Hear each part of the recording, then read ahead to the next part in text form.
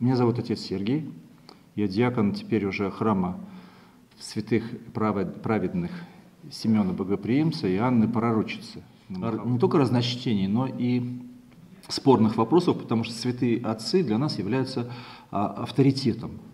И когда мы, допустим, берем толкование, скажем, библейских книг, э, новозаветных, Ветхого Завета, да, мы обычно их не рассматриваем, эти книги, просто вот э, как чистый текст что очень много возникает а, кривотолков и неправильных толкований именно этих книг э, у, скажем, многих э, направлений христианства. Вот э, множество сект возникает, потому что каждый трактует этот текст по-своему и из урывков текстов составляет какую-то доктрину. И, в общем, многие секты на этом спотыкаются, некоторые спекулируют этим, а, некоторые какие-то а, свои преследуют цели, вот, их можно даже назвать уже даже не христианскими, вот, свидетели Иеговы, которые они пытаются вот именно все время отсылать нас э, к текстам, вот они занимаются тем, что не только урывками дают этот текст, э, фабрикуя свою какую-то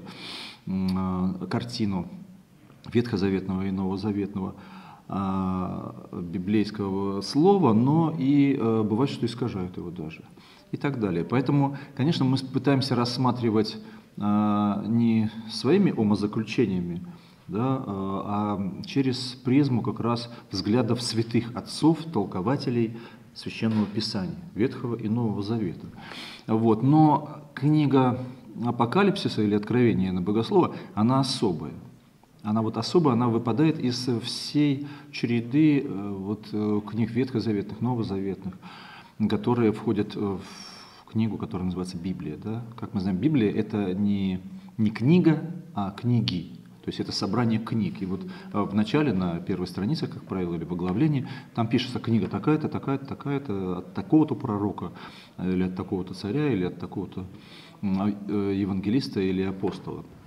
Вот. И а, как раз она тем, наверное, и с одной стороны спорно, и с другой стороны и интересно, что те толкования, которые давались святыми отцами каких-то первых или средних веков, или даже вот еще, может быть, 19-го, начала 20 века, они не могут быть для нас э, бесспорными, потому что при всем авторитете э, людей, которые толковали, еще не было открыто самим Богом через свершившееся событие то, что в этой книге, ну, по крайней мере, в последней ее части говорится. Поэтому все, что даже сегодня мы с вами будем говорить, оно не является бесспорным и уж совсем не является догматическим. Это скорее э, нек, некий синтез и э, попытка э, свести то, что говорили о книге этой святые отцы разных веков – а, с современным воззрением и с размышлениями, скорее всего, да,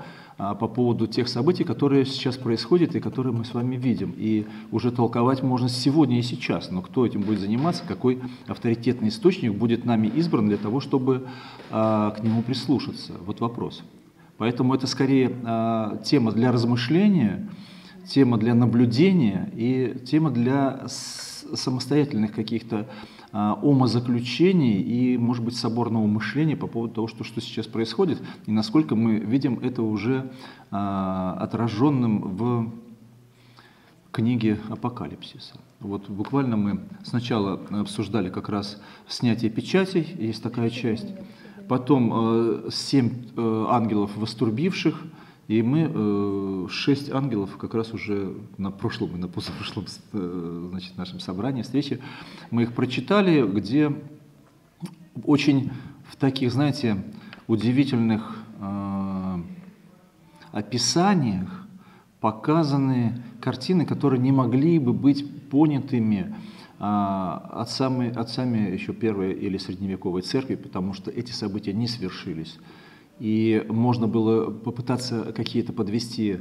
а, ну, там, духовные, скажем, основы под этот текст, но он еще не был открыт э, в связи с несвершившимися еще событиями. То есть это обращение к нам, к христианам последних времен, а, для того, чтобы мы не унывали, для того, чтобы мы э, знали и понимали, что происходит вокруг нас, и к этому были готовы, потому что, как говорит поговорка «предупрежден, значит вооружен». И очень часто мы начинаем унывать от того, что вокруг происходящее вокруг нас, оно не такое, какое хотелось бы э, нам видеть как православным людям, как христианам вообще, потому что мир пребывает в таком э, агонизирующем неком состоянии, он э, в апостасийном состоянии, когда все как-то разлаживается, деградирует, выходит на какой-то предантихристовый такой период, когда человечество ну, можно было бы это назвать таким вот легким безумием, да, и только отдельные люди, как в неких э, романах, там, скажем, Стругацких или других фантастов, да, те, кто в этом мире еще что-то понимают или пытаются понять, или ведут какой-то э, нравственный, духовный образ жизни, э, вот, они являются скорее изгоями этого мира, единицами или небольшим процентом от всего человечества, которые сейчас проживают на Земле, потому что основная масса человечества сейчас живет а, по материалистическим законам. То есть и для них основным является а, критерием это золотой телец, которому поклонялись и в древние века, и э, через все века проходит вот это поклонение миру э, материальному и тем благам материальным, которые есть, наслаждением, а, удовольствием всевозможным. И лозунг «Перец жизни все», а, наслаждайся, он для нас сейчас не является каким-то таким чем-то запретным, а он просто с экранов телевизоров и с больших рекламных плакатов на улицах просто входит в нашу жизнь уже не первый год и не первое десятилетие, да, и к этому призывают наслаждайся, бери от жизни все. И западная цивилизация, наверное, в основном именно этому тельцу поклоняется, христианская она или не христианская, а, вот это в любом случае какой-то получается такой культ, что ли, да, применение христианства к земной жизни и построение рая на земле. По крайней мере, протестантская а, цивилизация, она вот, христианская протестантская цивилизация, она так и строится. То есть э, критерий угодности Богу в протестантизме – это успешность. То есть вот если ты успешен, если ты богат, если ты здоров, счастлив и прочее, значит ты Богу угоден, и Бог тебе это дает. А вот. Э, у католиков, может быть, немножко э, по-другому это выглядит формула, но тем не менее все равно э, материалистическая вот эта основа западного мира, она налицо. И она сейчас, к сожалению, ставится во главу угла всей земной цивилизации и пытаются навязывать другим цивилизациям, которые не живут, допустим, по аналогичным правилам, навязывать именно эти правила. Да, и в частности сейчас лидером э, бесспорным да, является э, во всем мире такое государство, как Соединенные Штаты Америки.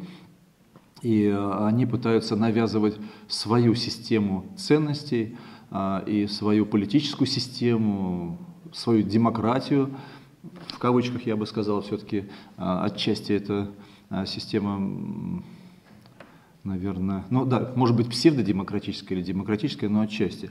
А, вот, и тут э, инструменты, которыми навязывается вот это, это мировоззрение другим людям, другим цивилизациям, да, мы видим, как сейчас стираются с лица земли государства, которые не отвечают этим принципам или противится им, или пытается идти своим каким-то путем.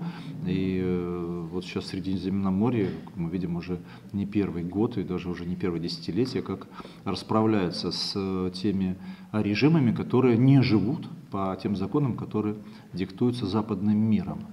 Вот, не стало Югославии, ее, с ней расправились против всех международных законов, которые являются, наверное, основой современного мира, который вот после Второй мировой войны попытались выстроить, создав Организацию Объединенных Наций, где есть Совет Безопасности. Э, это страны, которые могут налагать определенное вето на решения, э, принятые в Организации Объединенных Наций, то есть э, некий орган, который должен решать все глобальные мировые проблемы через переговоры совещательным путем. А, вот, что само по себе, ну, наверное, э, правильно, потому что блаженные миротворцы, э, об этом говорит сам Господь, ибо они сынами Божьими нарекутся. И а, это правильный подход. И сейчас вот есть такой международный институт, который действует уже более полувека. Но тем не менее мы видим, что в последнее время, даже не согласовывая с этим а, созданным опять же, всеми вот этими ведущими странами. Институтом, можно не согласовать ничего и вдруг ударить по суверенной стране, а, почти 60 ракетами, и, в общем, а, ни перед кем не отчитаться за это. И считать, что так можно, потому что есть а, некие, некие сильные страны, которые могут себе позволить за счет силы над другими странами расправляться, попирая международное законодательство. Ну, в общем, определенные процессы в мире происходят, и мы с вами в этих процессах, в процессах живем, и надо, наверное, ну, просто, что ли, может быть, понимать, может быть, разбираться, а может быть, ну, кому-то это и не интересно, и кто-то хочет заниматься просто а, становлением собственной личности и созиданием семьи, занятием своим собственным делом, а, которым Господь дал ему заниматься. И это тоже позиция, это не, я не склонен осуждать, но сам я пытаюсь э, жить немножко выше своей головы и смотреть чуть-чуть дальше, э, потому что чувствую определенную ответственность и перед своей семьей, и перед теми, кого Господь мне послал в друзья, помощники. И э, сам Христос говорит, не всякий, не каждый становись учителем. Да? И это действительно какой-то э, определенный крест, когда ты несешь ответственность за людей, э, которые тебе вверены для, может быть, для наставления, для воспитания и так далее. Ну вот, занимаясь по благословению священном начале молодежной работы в Лавре, я уже понял, что я несу а, гигантскую ответственность за тех людей, которые приходят. И я им должен что-то принести. Слава Богу, что мне Господь послал вот этих Э, великолепных помощников, отца Пимена, иеромонаха Пимена, который является иноком э, и имеет определенный э, не только багаж знаний и опыт, но и вот харизму определенную. И недаром его телеканал «Союз» пригласил, и вот уже второй год он ежедневно на телеканале «Союз» ведет именно евангельские повествование о том Евангелии, которое читается на день. И это очень интересный человек, и думаю, что мало кто с ним в этом смысле может поспорить. Я всегда его слушаю с удовольствием и нахожу всегда а, в его повествованиях э, интересные смыслы, которые просто не могут открыться при чтении э, священных книг Евангелия или Ветхого Завета. А вот, и есть у нас замечательный, уникальный, я бы сказал, православный психолог, протодиакон Иоанн Диденко, который приехал к нам из Киева, имеет богатый опыт работы в молодежной среде. И в этом смысле, когда а, у нас проходят а, встречи в Лавской молодежке, это первая часть, как правило, то, что мы с вами делали, знакомство, общее какое-то то, чем я занимался до перевода в другой храм, общие какие-то вопросы организационные, а потом э, евангельское чтение и разбор его, и потом какие-то психологические тренинги, которые проводит отец Иоанн, они дают возможность человеку открыть в себе самом определенные а, глубины, которые он не знает, себя самого открыть, потому что очень важно, если сейчас мы с вами будем рассуждать, кто мы есть на самом деле, мы столкнемся именно с этой проблемой. Мы не знаем самих себя. То есть невозможно в этом мире э, разбираться или где-то себя позиционировать, если ты сам себя не знаешь и не можешь определить, кто ты есть э, и какие у тебя есть э, наклонности, какие у тебя есть положительные, отрицательные качества, чем ты можешь послужить, над чем нужно работать и так далее.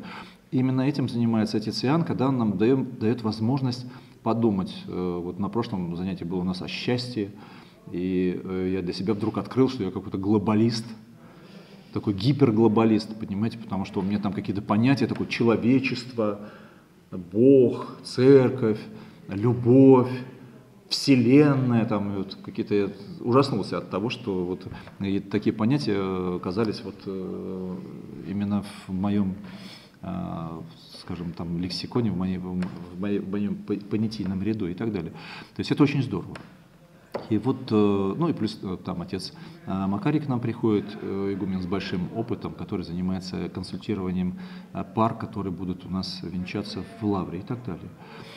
А, вот, и вот во всем этом многообразии форм работы с молодежью, да, Господь мне показал многие интересные проблемы, которые есть в этой среде, и, соответственно, показал какие-то перспективы, и слава Богу, что таким вот неординарным образом сложился клуб в Лавре, потому что Лавра все-таки это для города нашего это не последнее духовное место, я бы сказал, духовный центр, и могу сказать, что не без, наверное, не без радости или, может быть, не без хорошей вот такой гордости, что это какой-то а, духовный центр, наверное, нашей церкви, а, Московского патриархата, нашей церкви русской православной.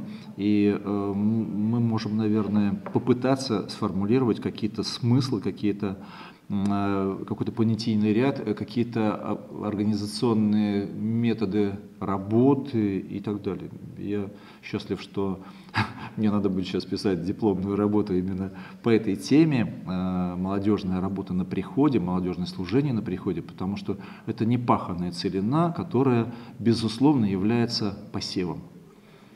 И только посев правильно сделаны, в правильную почву, с правильной э, мелиорацией, с правильным климатическим режимом и с прочими, прочими, прочими э, моментами, может дать серьезный урожай.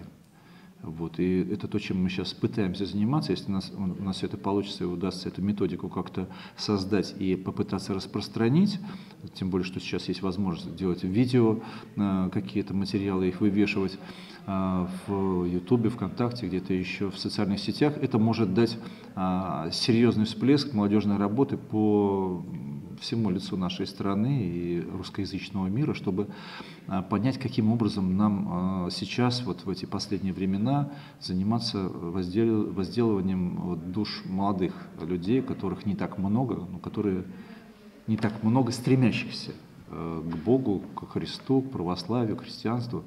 Вот. А это, конечно, те самые избранные, о которых сам Христос говорит. А вот, ну такая преамбула получается, угу. такая длинная, предлинная. Но дело в том, что э, логика всегда проста. Э, с, каждой, с каждым мгновением мы все ближе и ближе при, приближаемся к последним временам. Да? А вот, соответственно, это ну, в любой хронологии это будет именно так. Но почему мы можем утверждать или не утверждать это? Для этого как раз и есть вот эта книга последняя да, из э, Священного Писания, Э, называемой Библией, э, которая так и называется «Откровение Иоанна Богослова». То есть это не наши размышления, это не размышления самого Иоанна Богослова или его учеников, а это то, что Господь открыл через своего ученика, да, Христос или Господь, открыл через своего любимого и младшего из всех учеников, который прожил дольше всех, да, и оставил нам вот э, это повествование того, что Бог ему открыл. Там есть, конечно, и обращение к церквам э, того времени, да, и они э, э, имеют назидательное такой вот назидательный смысл, что ли, назидательное назначение.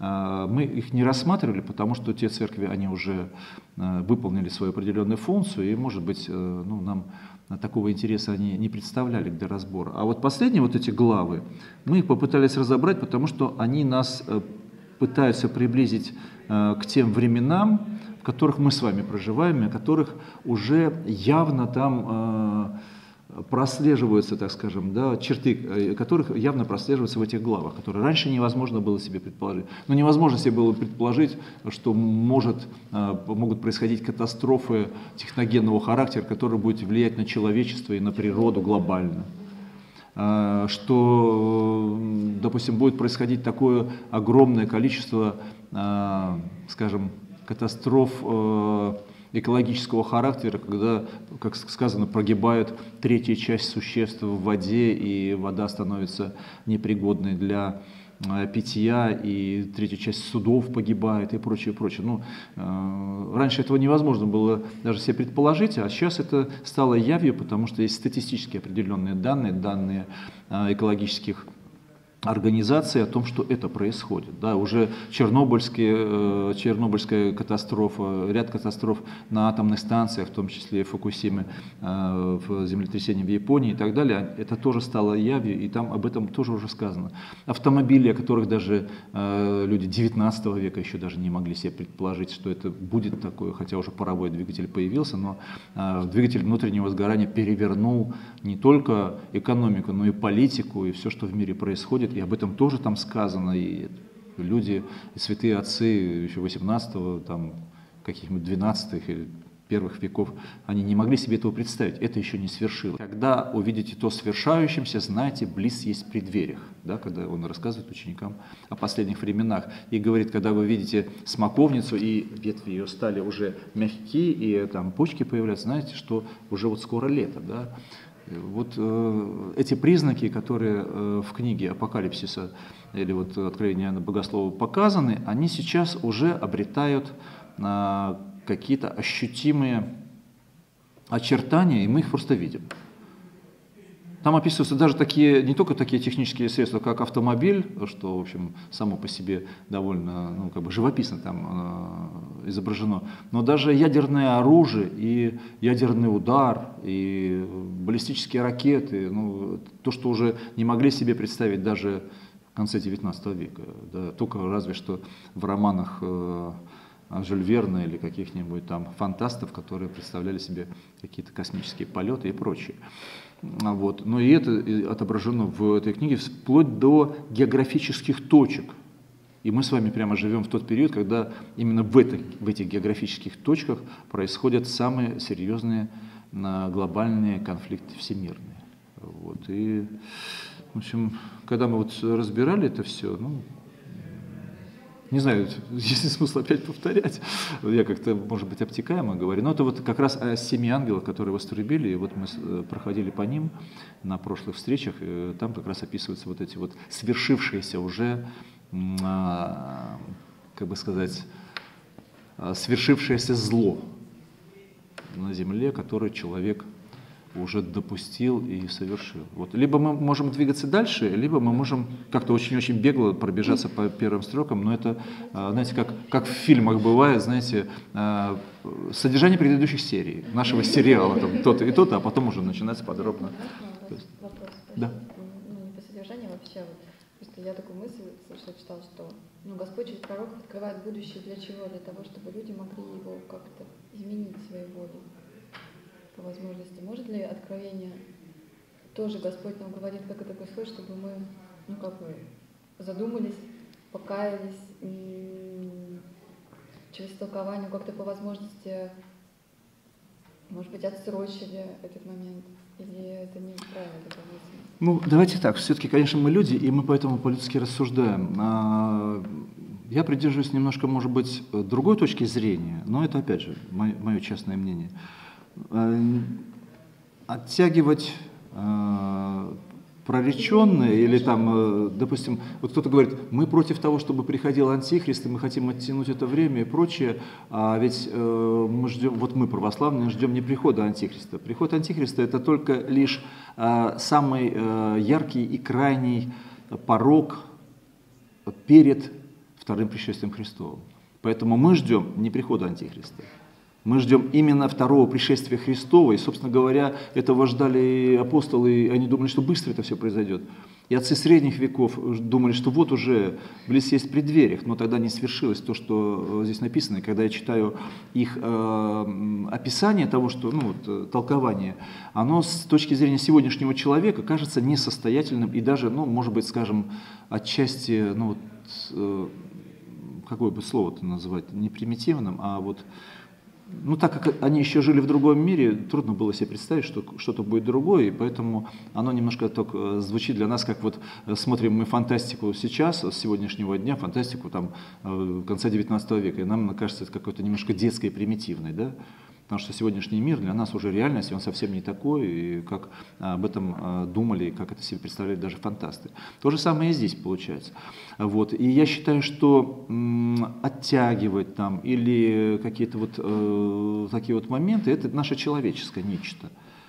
А, ну вот э, дело в том, что, э, смотрите, все, что создано вокруг нас, вот вся ситуация, которая произошла, да, Господь в ней участвует или нет? Или Он просто безучастно смотрит на все это со стороны, и оно происходит само по себе? Но если оно происходит само по себе, то почему оно уже почти 2000 лет назад было нам предречено и рассказано? Конечно, Бог обладает все, всеведением, и Он знает настоящее, прошлое и будущее, да? но ведь э, в чем смысл? Не в том, что мы знаем или не знаем, что сейчас происходит, а в том, каким образом мы себя ведем в этот период. Потому что наше личное спасение зависит даже не от того, знаем ли мы будущее, все эти пророчества и прочее, а каким образом мы ведем себя в данный конкретный момент нашей личной жизни, потому что за это будет Господь нас спрашивать. А то, что нам известно, что это будет происходить, мне лично от этого легче, потому что если бы я не знал, что это будет, и смотрел бы на сегодняшний мир, я бы просто впал в уныние в ужасное, потому что я очень а, близко и тяжело переношу какие-то моменты вот такие, знаете, когда человек поступает безумно. Э, я, я, ну, то есть, когда я вижу беременную женщину, да, я, ну, я радуюсь всегда, мне это всегда вдохновляет, и мне хочется молиться, но когда я вижу беременную женщину курящую, или с бутылкой пива, или нетрезвую, это вызывает во мне уже, то есть, ну, такие чувства, когда я ощущаю себя, ну, несчастным просто человеком. Я начинаю молиться, безусловно, чтобы Господь как-то вразумил, как-то устроил это все, но я вижу, что это какое-то вот э, такое апостасийное нечто ненормальное, просто противо, противоестественное. Да? А то, что происходит, происходит вокруг нас в мире, это противоестественно абсолютно. Да, это когда люди сейчас э, то, что было, то, что было стыдным, допустим, да, то, что было порочным э, еще буквально несколько десятилетий или там, столетий назад, сейчас они этим бравируют, и они ходят парадами, да, забывая о Содоме и Гаморе, и сейчас считают, что это ценности западного мира, и нам говорят, о, у вас вот, значит, притеснение, гонение, э, значит, людей, которые по-другому себе представляют э, физическую жизнь, да, совместную, или семейное устроение, или прочее. В обществе, где уже запрещают отцом и матерью называть э, своих родителей, а называть родителей номер один, родителей номер два, или как-то, ну, это, но для меня лично это, знаете, на уровне абсурда, театр абсурда. А вот зазеркалье какое-то страшное такое, где все перевернуто кверх тормашками. Вот. А это ведь, это, это же сегодняшний день. Пожалуйста, сегодня э, привязывать прямо к сегодняшнему дню два человека во Франции, а Франция не последняя, это вторая страна, по сути дела, да, континентальной Европы, которая сейчас объединена, и вот э, между э, Федеративной Республикой Германии и Францией, да, вот э, идет такое негласное, э, может быть, соревнование за лидерство в этом Европейском Союзе. А, вот, и вдруг вот мы видим, что э, либо радикально правые э, в лице Марин Лепен, да, э, которые пытаются национальные поднять интересы и прочее, и вот в этом Евродоме разобраться, кому что и как нужно. Либо вот второй из кандидатов, который ну, даже неправильно, можно сказать, сориентирован как мужчина в этой, в этой жизни, и за него голосует большее количество людей, там, скажем, а все э, традиционные партии, социалисты и прочее, они просто отвалились. Может быть, политический какой-то момент, но налицо некая э, человеческая деградация, деградация ценностей. Я уж не говорю о таких моментах, которые относятся к культуре. Да, буквально позапрошлый год показал, что европейская культура, она уже перестала быть культурой как таковой, потому что э, проголосовали э, телезрители подавляющим большинством голосов за абсолютно аморальное, антихристианское, садомистское нечто, когда э, транссексуальный э, человек, скажем, да, э, взял первое место. То есть, э, как бы хорошо он не пел, но э, мы понимаем, что если мы кого-то воздвигаем себе на первое место, на какой-то пьедестал, делаем его каким-то кумиром, то это уже образец для подражания там, молодежи и тем, кто считает, что успешность это уже вот это. Слава Богу, что это еще не наши ценности, что мы их не принимаем, и что нас еще за это, значит, в Евродом, Евросадом не хотят принимать. И я помню, как, а, когда наш президент, да, Владимир Владимирович Путин там сказал, как вы себе это представляете, что вы вот хотите вот у нас, вот, пожалуйста, приезжайте к нам в Чечню, и расскажите им про однополые браки. Я на вас посмотрю тогда, как в Российской империи, а мы империя были, есть и будем. Вот, как это можно при многообразии мнений, культур, а, религиозных воззрений, значит, взять и навязать какую-то вот такую евросодомскую какую-то модель здесь. Слава Богу, что это не так, вот, но мы видим эту апостасию, эту деградацию западного общества. Это не надо навязывать, это и так происходит в нашей стране. А? Это не надо навязывать, это и так происходит в нашей стране. Дело в том, что это было, это было всегда, но это не имело таких масштабов, и это не было откровенным, это было чем-то постыдным, это было чем-то таким э, вне какого-то закона, вне морали, вне норм. А сейчас это диктуется как некое, некий постулат, это должно быть записано, что вот это имеет право не только на существование, но это и законно, и это уже можно, и притеснение уже таковых людей или там неприятие этого является уже противозаконным и прочее, и прочее, и прочее. То есть уже идет откровенная пропаганда этого образа жизни. Это ненормально. Потому что есть люди, которые, может быть, родились с какими-то отклонениями, это небольшой процент. Но когда э, к этому привлекается внимание все больше и больше людей, а сети сейчас играют социальный интернет э, большую роль в этом, то тогда к этому уже начинают привлекаться молодые, еще совсем не окрепшие, они начинают в это втягиваться, и потом они в этом, как в болоте, просто утопают. И присыщенное западное общество, оно сейчас, знаете, вот есть такое русское выражение, бесится с жиру. Слово бесится понятно вам, наверное, да, как христианам, да? То есть вот когда уже присыщен человек, он уже все как бы вот естественное потребляет, ему уже хочется что-то сверхъестественного или неестественного, или противоестественного. И это сейчас западный образ жизни, к сожалению. И эти ценности нам, они нам не то что не близки, они нам чужды. И слава Богу, мы еще вот живем в таком обществе, где это вызывает определенное отторжение и даже порицание. Как бы ни пытались нам это навязывать через всевозможные парады и прочее. А, вот. Я думаю, что здесь вот разница в подходе к, к жизни, к мировоззрению, к духовности, к нравственности, она налицо. И то, что в апокалипсисе как раз еще и рассказано и об этом, чтобы нас утвердить как-то, да, укрепить.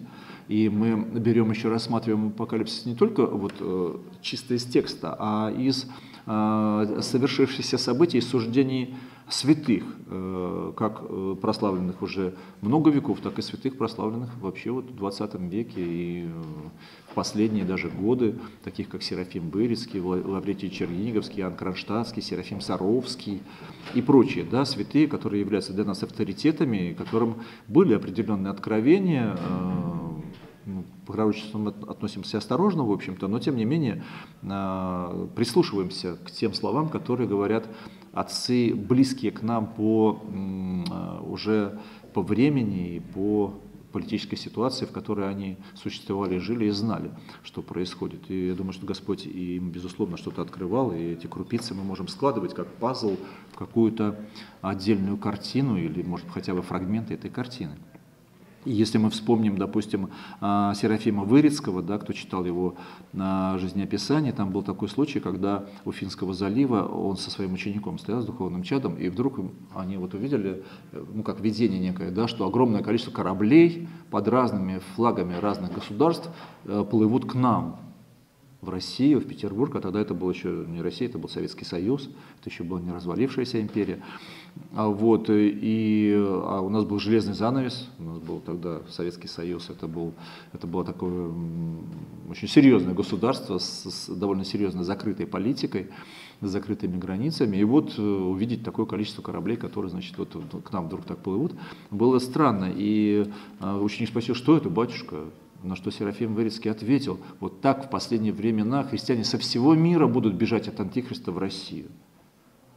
То есть Россия, да, она, она способна, наша территория, э, если мы воззрим на карту, она способна вместить не 145 миллионов человек. Ну, плюс мигранты, там несколько миллионов мигрантов, которые там легальные или нелегальные, там китайцы, которые к нам переселяются и прочее. Но это все мизер по сравнению с той территорией, которую Господь нам дал.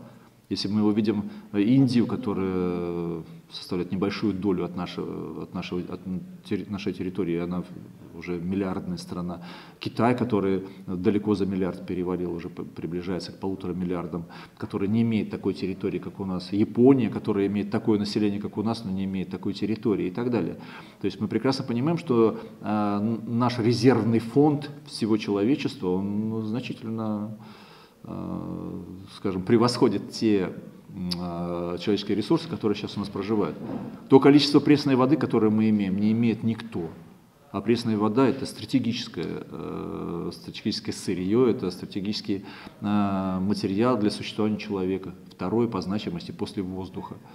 А и воздух, об этом мы говорили, тоже поставляет Россия, потому что у нас зеленые насаждения в северном полушарии, есть только вот огромные массивы лесов у России, чуть-чуть у Скандинавии и Канады.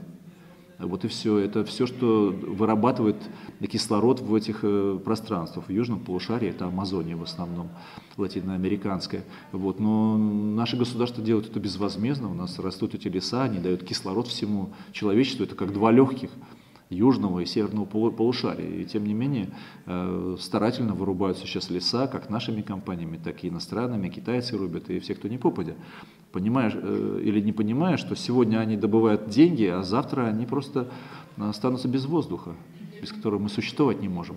Вот. И у нас есть все природные ресурсы. Россия стала первым в мире экспортером зерна, и э, мы получили самый большой урожай в последнее время по зерновым, хотя еще недавно мы сами закупали. Что такое изменилось у нас там? Что народу стало больше, мы прям стали прямо трудолюбивые, стали больше пахать? Нет. Просто у нас есть огромные ресурсы, которые не были задействованы, которые, если будут задействованы, то мы можем прокормить на миллиард и больше человек на, на таких территориях, если мы будем возделывать и прочее. У нас есть все необходимые химические элементы в земле, и углеводороды, и газ, и неразработанные месторождения, от алмазов до последнего, что ни на есть, э, химического элемента, все есть в нашей, в нашей стране. То есть это для всего человечества вот такой вот дом, куда можно будет сбежать от Антихриста. И об этом сказано как раз э, в книге, и Лаврентий Чернивский очень хорошо об этом сказал, мне нравится, что а, а, Россия, вот, э, вернее, даже не Россия это будет, а славяне, славяне в последние времена объединившись, то есть это Россия, Беларусь, Украина, славяне, объединившись, создадут мощнейшее в мире государство, которое возглавит русский православный царь, то есть правитель некий православный, а, вот, и который, э, которого будет бояться сам Антихрист, и на территории этой не будет власти Антихриста до самых последних времен, и что за 70-летний советский вот этот коммунистический период э, наша страна, наша земля претерпела такие гонения, такие скорби, что за них то есть э, вот эти новомученики, наши исповедники российские, царь, царская семья, они вымолили уже Россию до, до конца времен, и здесь вот будет то самое, э, то, тот самый противовес антихристианскому миру, где будут спасать свои души христиане. Вот если сложить вот э, видение, которое было у, у Серафима Вырицкого, у Лаврентия Черниговского, это откровение, у Серафима Саровского, кстати, очень тоже об этом интересно написано, у Иоанна Кронштадтского, что вот мы и есть тот самый вот э, последний форпост христианства, где вот избранные смогут каким-то образом э, в последние вот страшные времена переждать их, пережить после ядерного конфликта, после всех этих вот скорбей, о которых сказано три с половиной года, которые бы э, не пережило бы никто вообще э, человечество, но ради избранных эти времена были будут сокращены, да, чтобы вот э, избранные могли спастись. То есть избранные это, конечно, христиане, безусловно. Потому что сам Христос говорит, открывая нам смысл этих слов избранничества, сказал, не вы меня избрали, но я вас. То есть каждый христианин, который есть на земле, каждый православный человек, вот, это не человек, который а, взял и избрал Христа. Это человек, который, которого сам Бог, сам Христос избрал по каким-то качествам, ведомым только Ему, потому что Он смотрит в сердце, и даже не на поступки, да, не только на дела, а вот на устроение сердца человека, на его мысли, на его расположенность, на его мечты, к чему он движется, что он перед собой, какую цель перед собой ставит. И поэтому какому-то ему ведомому только признаку он э, выбирает этих людей, и мы вот являемся счастливыми людьми, потому что мы находимся а, в избранной стране, в избранной церкви последних времен и являемся избранными самим Богом. И это не предмет для гордости, хотя этим можно, безусловно, гордиться, а это э, высшая мера ответственности, потому что нам Господь вручает вот этот бесценный дар веры и церковь свою, и мы являемся частью тела Христова этой церкви, и важно это оправдать, потому что много званных, но мало избранных. Вот э, такие мысли навевают вот э, как раз апокалиптическое чтение, и оно, опять же, не только, э, как бы сказать, нас настораживает или предупреждает, но и вселяет в нас определенную надежду, оптимизм, желание работать, трудиться, что-то делать и пережить вот эти тяжелые времена, потому что если мы уже настраиваемся на них, э, явно мы э, внутренне уже где-то к чему-то готовы, готовы или готовимся и можем их пережить. Какой мы план можем? Давайте с седьмого, пожалуйста, начнем. Как что да, то есть мы не будем тогда да. пробегать по этим ангелам. Давайте с седьмого. Что хочется? А? Что? Я говорю, лет 20 там максимум. Не, нет, о сроках, о, срок, о сроках не знает никто. Об этом сам Господь говорит, да, сам Христос говорит, что никто об этом не знает, ни ангелы небесные, а только Отец мой небесный. И не в сроках дело. А дело в, в нас с вами, в тех самых избранных христианах, которые, э, мне очень понравилось вот это выражение, когда у, у Серафима Вырицкого я прочитал, Господь тысячу лет, а Господь, Господь тысячу лет готов ждать, пока хотя бы одна душа человеческая, спасшись, восполнить число, падших ангелов. Причем эта мысль э, и у других отцов, более древних отцов церкви, она есть. Сейчас, вот, к сожалению, не смогу процитировать, кто именно конкретно, но вот э, я с этим сталкивался. То есть, говоря о том, что предназначение человечества не в том, чтобы ну, просто жить на земле или там спасаться, а что предназначение человечества восполнить число падших ангелов. То есть э, ангелы, которые отпали, как мы знаем из Священного Писания, третья часть ангелов, ангелов отпала вместе с Люцифером, ангелом света, Деницей, отпала от Бога, причем по собственной воле, никто их не гнал оттуда. Они сами ушли от Бога и стали э, антиподами, да, они стали вместо ангелами, ангелов света, они стали ангелами тьмы, они стали дьяволом, бесами, вот все, что мы, э, вот всем тем, что мы называем падшим миром, да, духов. А вот, и э, вот, э, слушая Серафима Вырицкого и других вот святых, мы а, имеем такую возможность понять, что души человеческие должны восполнить число падших ангелов и должны а, через э, этот жизненный экзамен от рождения человека до его конца, вот через дела, через мысли, через противление злу или творение добра, Э, доказать это право стать одесную Христа, то есть вместе с Ним войти в вечность. И э, сам Христос говорит об этом. Вспомните э, отрывок, когда Христа искушают садукеи. Да? Они подходят и говорят ему, по иудейской традиции, если у брата умерла у твоего старшего жена, и ты не оставил потомства, то следующий брат по возрасту должен взять эту жену и восполнить э, семя брату своему э, усопшему и так далее. И вот садукеи говорят, э, было семь братьев, и старший женился, э, но умер, не оставив потомства, женился на, на этой жене э, второй, третий, и они в смысле там умирали, не так женились на ней все семеро, не оставили потомства, потом умерла и жена. Кто же в воскресении Христовом, ну, вернее, после воскресения, будет э, ее мужем, или чья она будет жена? Ибо семеро имели ее. Спрашивают они Христа. А на что Христос отвечает, заблуждайтесь, не зная ни, ни Писаний, да, ни силы Божьей, а, вот, а, потому что когда воскреснут а, из мертвых, не будут ни жениться, ни замуж выходить, но будут а, как ангелы существовать, как ангелы на небесах. То есть сам Христос говорит, что предназначение человека э, в э, вечности, там, после воскресения, это не плодиться, не размножаться, а как ангелы мы не будем плодиться, размножаться, а будем уже жить по законам ангельского мира. Вот, соответственно, э, ну, зачем плодиться, размножаться? Ангелы не могут этого делать. они даже не имеют полового признака. Потому что половой признак нужен только для того, чтобы э, плодить себе подобных, поэтому есть самки или самцы, мужчины и женщины и так далее. Вот там уже будет совсем другая жизнь, другой мир, другое состояние нас с вами. Вот. И так Христос тоже э, таким образом приоткрывает перед нами наше будущее там, в Царстве Небесном.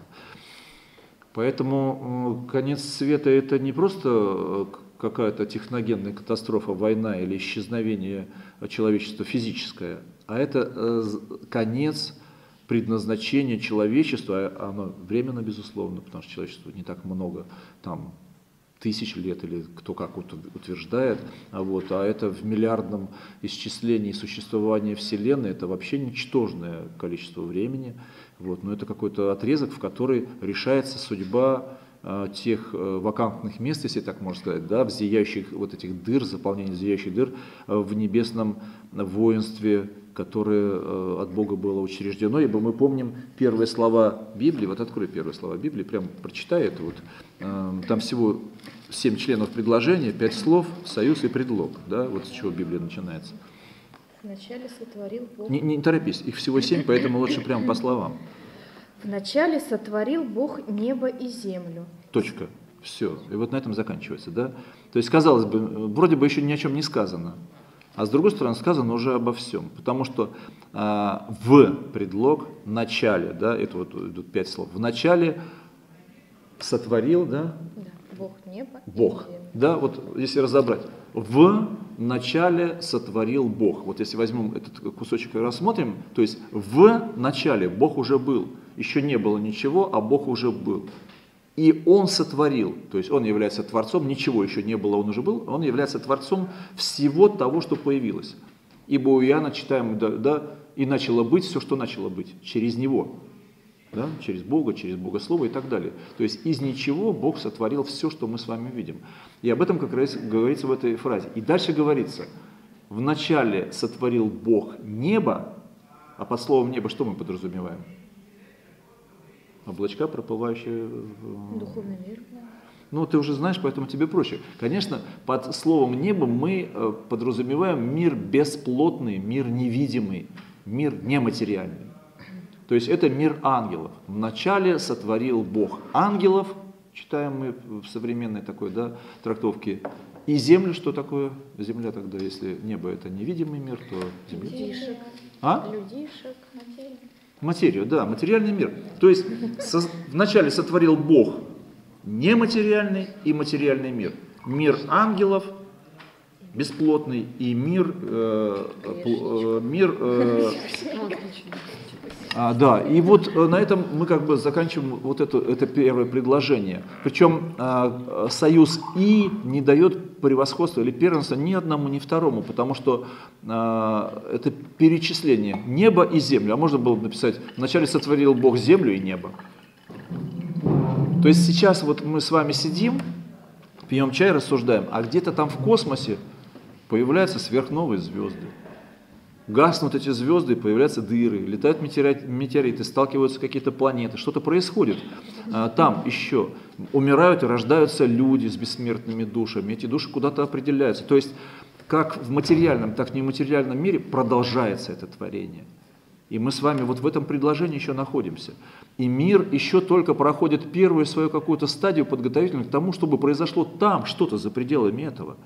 Кстати, миллиарды лет прошло, а у Бога нет времени когда Бога пытается изобразить, изобразить, допустим, да, ну вот изобразить Бога Отца вообще невозможно, и это считается неканоничными изображениями на иконах, когда там рисуется старец с треугольником за головой, там, с распростертыми руками, который там, а, там или там Дух Святой в виде голубя, вот, или что-то еще, ну, кроме изображения Иисуса Христа, которого мы могли с вами видеть, который был воплощен Богородицы, на святых и так далее, то есть тех, кто жил на земле, вот, все остальные, конечно, изображения, они либо схематичные, либо неканоничные лично вообще. Так вот, Бог Отец, Он всегда был, всегда есть и всегда будет, и поэтому его можно было бы изобразить просто в виде э, такой геометрической, э, ну, прямой, да? По, нет, бесконечность это, э, это непонятно что на самом деле, да? Это, э, ну вот, прямая, э, это, это, это то, что не вмещается в мою голову еще с, со времен школы, потому что по определению прямая это прямая линия, проходящая через две точки бесконечно в обеих направлениях. это определение вот прямое. У меня в голове это никогда не укладывалось. То есть я понимаю, две точки, через них проходит прямая линия, она бесконечно вот там, бесконечно там. Но когда ты видишь железную дорогу, которая уходит за горизонт, и ты ее ты понимаешь, что она где-то там начинается или где-то она там кончается. Но вот в голове никак не умещалось, что у меня, что эта прямая линия, она вообще нигде не начинается, то есть она всегда там есть. И нигде не кончается, и она всегда там будет. То есть, потому что все, что я вижу, оно ограничено. Поэтому в моем рассудке это сложно себе представить. Также любому человеку сложно представить, что вот Бог был всегда, когда не было ничего. А когда он появился? А что было до него, допустим? А что будет после, думают они? И когда Бога рисуют в виде старца, э, допустим, это, конечно, уже ну, наше человеческое восприятие того, что это было давно, но старец это то, что значит уже начинает разлагаться и деградировать, допустим, да, по человеческим меркам. И вообще возрастание это не есть э, свойство Божие, потому что Бог, Бог совершенен изначально. Потому что развиваться может недоразвитое. Бог не может быть недоразвитым. Он уже сразу совершенен. То есть недоразвитыми можем быть мы, творение. То есть мы вот начинаем там из сперматозоида, яйцеклетка, там э, эмбрион, потом рождается вот этот вот, он потом сосет сиси, он там ползает, он там потом начинает ходить, твердую пищу есть, зубы первые, зубы вторые, э, высшее образование, значит, жена, дети, внуки, правнуки, э, рассыпание этого тела, как болящего, и смерть, и разложение. Вот и все, что мы видим здесь, вообще во всем мире. Даже звезды и планеты имеют свое зачатие из газового состояния, потом разрушение, черные дыры какие-то там и прочее. То есть э, все материальное имеет какие-то циклы, а Бог не имеет этого, он изначально совершенен, развит, и ему не нужно развиваться, он не может стареть. Поэтому вот изображение Бога в виде старца, конечно, это ну, наше человеческое восприятие, но оно неправильное. Так вот, Бог будет всегда. И сколько бы ни прошло миллиардов, триллионов, триллиардов лет, по земному исчислению, это всегда будет только еще всего лишь начало, потому что там бесконечность. И там будет такое количество лет, веков и тысячелетий, триллиардов всего этого, что мы просто даже не можем себе представить. И во всем этом мы уже с вами живем. Я вас всех поздравляю, любой из вас это бессмертный. Это не американский герой там, из э, сериала там, Дункан Маклауд, Горец там бессмертный какой-то. Мы с вами бессмертны уже по определению, потому что у нас бессмертная душа которой Господь нас наделил еще там, в утробе матери. И мы родились уже бессмертными в смысле духовно. И нам над этим надо трудиться больше всего. А мы больше всего трудимся на того, как бы пропитать наше бренное тело, как бы его там воспитать, там накачать, или здоровье поддержать, или угробить его, там, или наслаждения какие-то получить, или материальное благосостояние. А в реальности ценнее всего наша бессмертная душа, над которой мы должны трудиться день и ночь, день и ночь, как об этом говорит классик. Потому что вот это самое главное мы возьмем с собой вечность, а все остальное останется здесь. И вот над этим надо трудиться денно и ночно. И люди, когда это осознавали, многие, они уходили из мира, они отказывались от богатств, будучи даже наследниками там, царского трона и прочего, они уходили от, все, от всего этого и затворялись в пещерах и везде уничижали свое тело и восходили духовно чего-то достигали, понимая, что э, все, что на земле, это тлен, и об этом Христос хорошо сказал. Что человеку до того, если он приобретет даже весь мир, а душе своей повредить, душа не больше ли всего этого материального мира, всей Вселенной? Потому что душа бессмертная и вечна, и над ней надо, надо трудиться работать.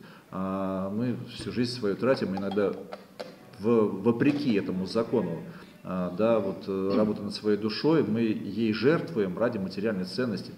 Мы можем переступить через свою совесть ради того, чтобы получить деньги, наследство, а, очередные чины, э, славу какую-то. Мы же видим это в мире.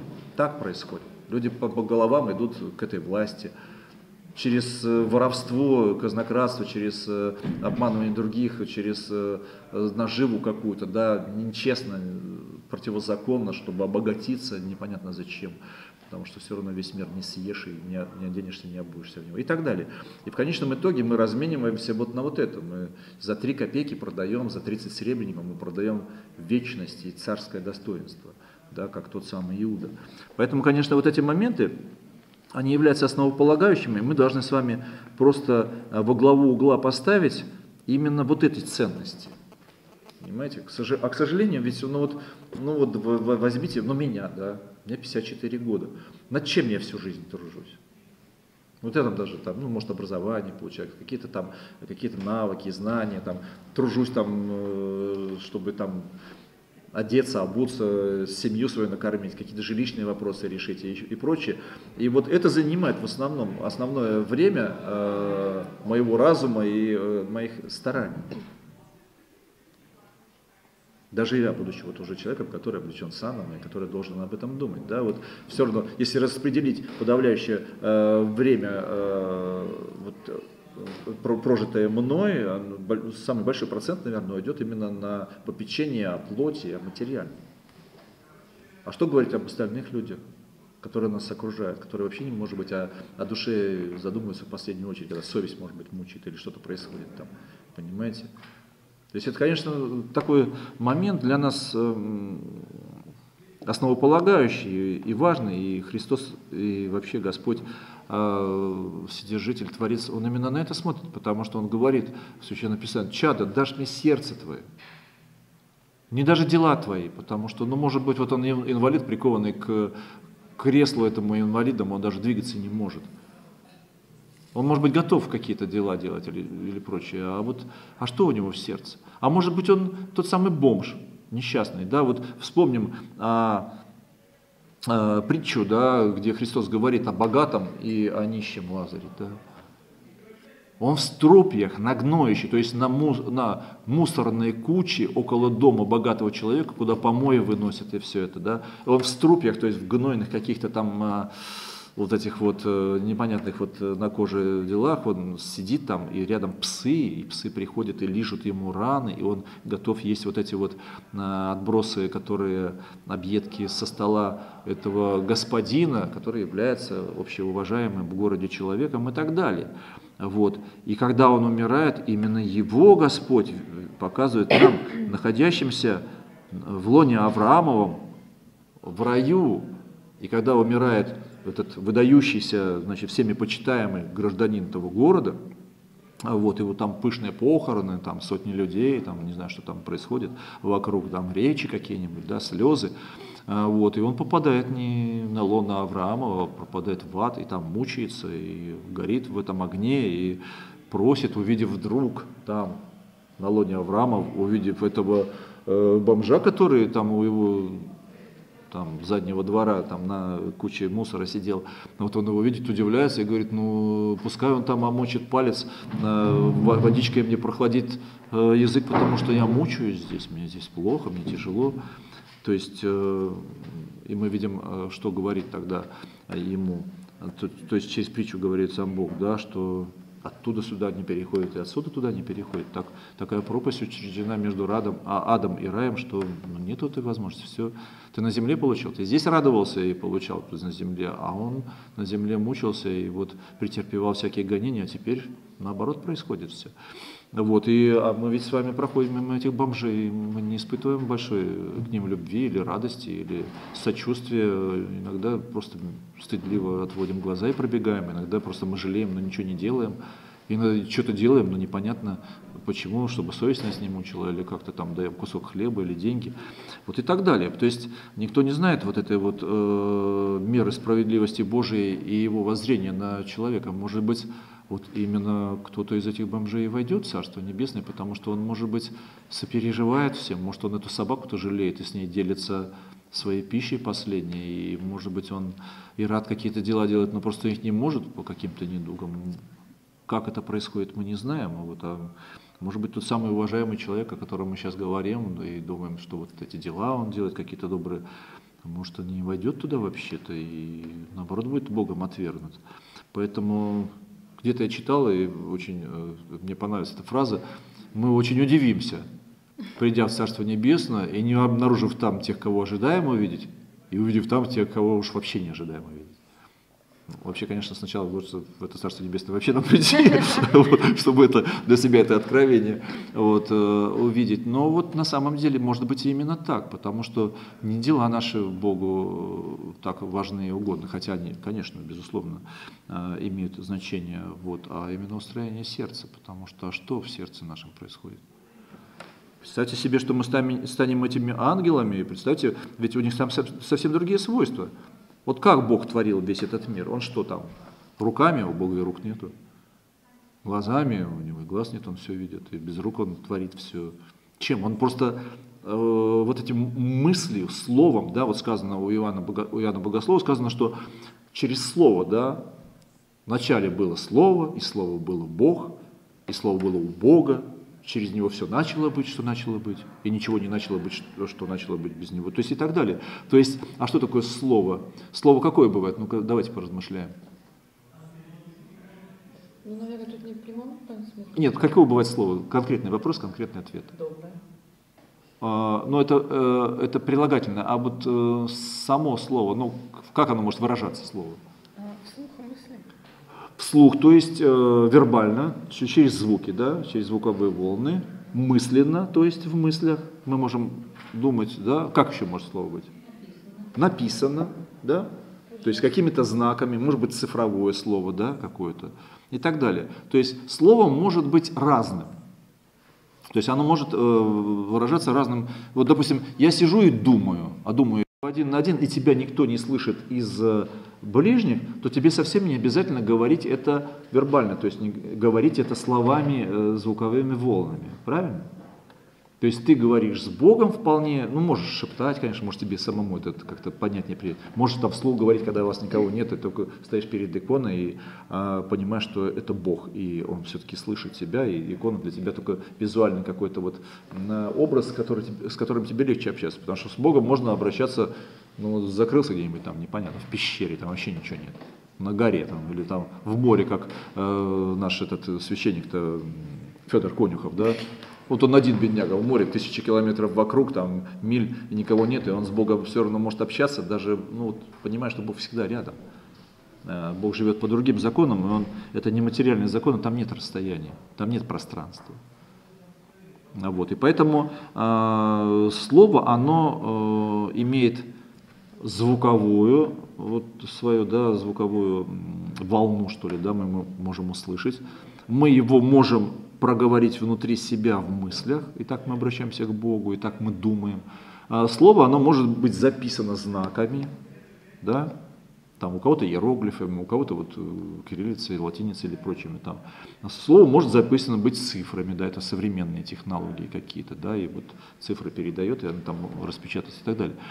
А вот, и поэтому Господь сам, а, вот через это слово сказано, да, то есть через мысль свою, создает весь этот мир. От минимального элементарного э, электрона-нейтрона-протона в каждом атоме до глобальных звездных э, систем, вот этих Млечного Пути, этих э, огромных вот этих вот звездных светил. Вот представьте себе, вот я как-то в сети наткнулся на такую картинку, там нарисован, допустим, в нашей Солнечной системе от самой маленькой планетки до Солнца да, или там до там, какого-то там Юпитер. Потом берется Юпитер, а, самая большая наша, ну, там, скажем, планета, она ставится самой маленькой, и от нее, значит, другие планеты какие-то или звездные там.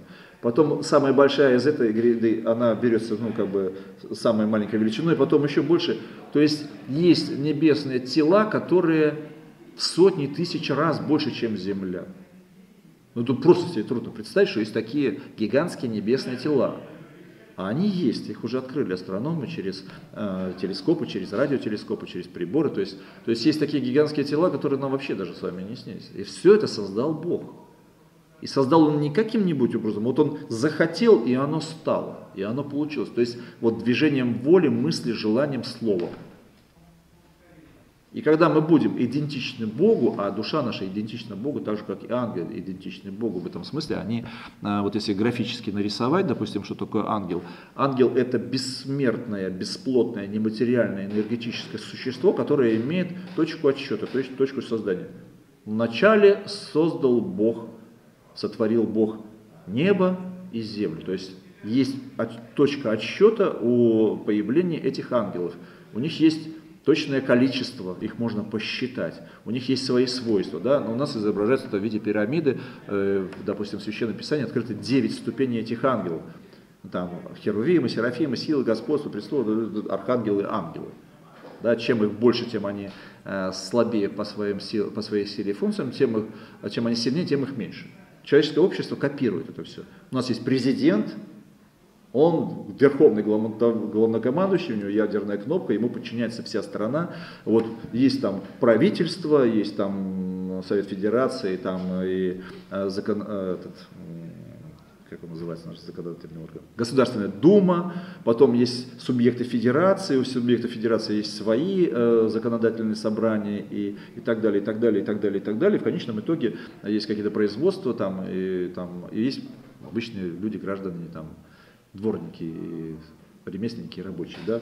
Вот так устроено общество. И чем э, начальник выше, тем их, тем их меньше да, но и этим начальником есть следующее. Так и вот в этом небесном воинстве вот такое распределение на 9 этих ступеней. И получается, что там эта стройная такая конструкция, она Богом создана, ну что Бог, а, давайте попытаемся размышлять, что-нибудь Бог делает бессмысленно. То есть он взял, не, не вкладывая никакого смысла, раз создал что-то, инфузорию туфельку или какую-нибудь там, какую-нибудь галактику какую-нибудь, да, или вот э, какого-то ангела или какого-то человека, допустим. Да? То есть все имеет смысл, мы можем этого э, не понимать или не знать, но раз Бог создал, значит оно ему зачем-то нужно. Вот все эти ангелы ему были нужны функционально в, это, в этой вечности. Зачем? Они проводники его воли, они исполнители его воли, но они обладают э, функциями, похожими на Бога, потому что они не творят руками, у них, у них нет рук. У них нет тела, они, они бесплотны, понимаете? То есть они волей своей, как вот э, война состоялась между, вот здесь об этом в Апокалипсисе написано, да, и состоялась война на небе, и э, Архангел Михаил бился, вот мы читали в прошлый раз, э, с э, дьяволом, там, дьяволом. Как они били, что они? Копьями, лазерными пушками, каким-то оружием? Нет, там ничего этого нет. Там не материальный мир, там мир воль, энергии, движения. Вот в чем любовь выразилась Архангела Михаила? Архангел это вторая ступень снизу. То есть он, какой-то там бригадир э, этих самых строителей на, на стройке или там никого, непонятно кого, значит, э, взял и на президента там какого-нибудь там вдруг сказал, ты что, ты возомнил себя Богом, как это возможно? Бог над нами творец, и что, в гордыню такой упал, как это возможно? Да? То есть э, сказал правду, возвысил голос в защиту, в защиту Бога. Вот Архангел Михаил перед Деницей, перед ангелом Светом, который был Света, он был выше всех всех, кого он знал, они были все ниже него, то есть они были слабее его, и он, он посмотрел, а над ним только Бог. Он говорит, я как Бог! Понимаете, и так Архангел Михаил ему говорит, кто как Бог, ты как Бог. Ну то что? Как ты можешь себя с Богом сравнить? И вот это сражение произошло на уровне воль, на уровне любви к Богу. И за эту любовь пламенную к Богу э, он берет со второй степени, ступени снизу и ставит сразу наверх. И как Господь говорит, многие последние станут первыми. Вот, пожалуйста. И вот даже сейчас наверху стоя мы даже до сих пор говорим Архангел Михаил. Ну, Архангел это же, вот архистрадик Михаил, да, это, то есть предводитель всех, всех ангелов. А Архангел все-таки это вторая ступень снизу. И он там остался наверху. Да, это как подполковник или полковник Путин, КГБ, да, который является верховным главнокомандующим российских войск и имеет ядерную кнопку. Да, может, у него, а звание, может, до сих пор у него полковник осталось, я не знаю, я его в кителе не видел давно. Поэтому это вот такой э, для нас, э, может быть, не очень понятный, удивительный момент, но именно так вот в этом небесном воинстве оно там и происходило как-то все это. От падения от Бога и то, что Бог никого не задержал, не наказал, они сами ушли от него, и Бог им дал уйти, так скажем. Да, теперь создал нас, людей, чтобы мы доказали здесь, в земных этих испытаниях, и каждый день там идет вот этот вот, образно говоря, за правым плечом ангел-хранитель, за левым плечом дьявол, да, какой-то там сидит там, и они записывают за нами все эти дела. Так, значит, зачет так, э, сегодня украл все ж таки. Мы создали условия вокруг него, он украл. Этот, он украл этот. Он украл. Так, завтра украл опять. А, украл. Опять украл. Значит, а тут засомневался. А, уже засомневался. Хм, засомневался. Так, а тут уже не украл. Или украл, но не так часто уже. А тут уже 50 на 50 украл, не украл, а теперь уже стал воровать меньше, а теперь вообще не ворует, а теперь он не может украсть. И этот бес там так, уже не может украсть.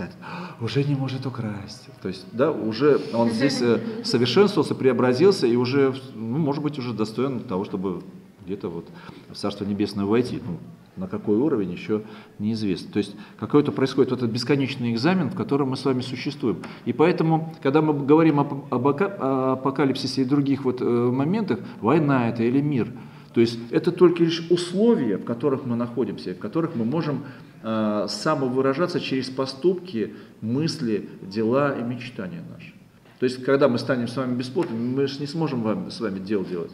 Даже если мы здесь вот будем поститься, будем на себя брать какие-то телесные подвиги, будем воздерживаться от каких-то вот э, еды, там, э, там каких-то ну, вредных веществ, там, не знаю, курения или там алкоголя или там, наркотиков, да, то когда мы вот все-таки достигнем совершенства телесного здесь, от, от тела избавимся, все-таки войдет туда душа наша, а не то тело, которое вот э, воспитано нами каким-то вот через какие-то подвиги. Все-таки душевные, духовные качества, они там будут важнее.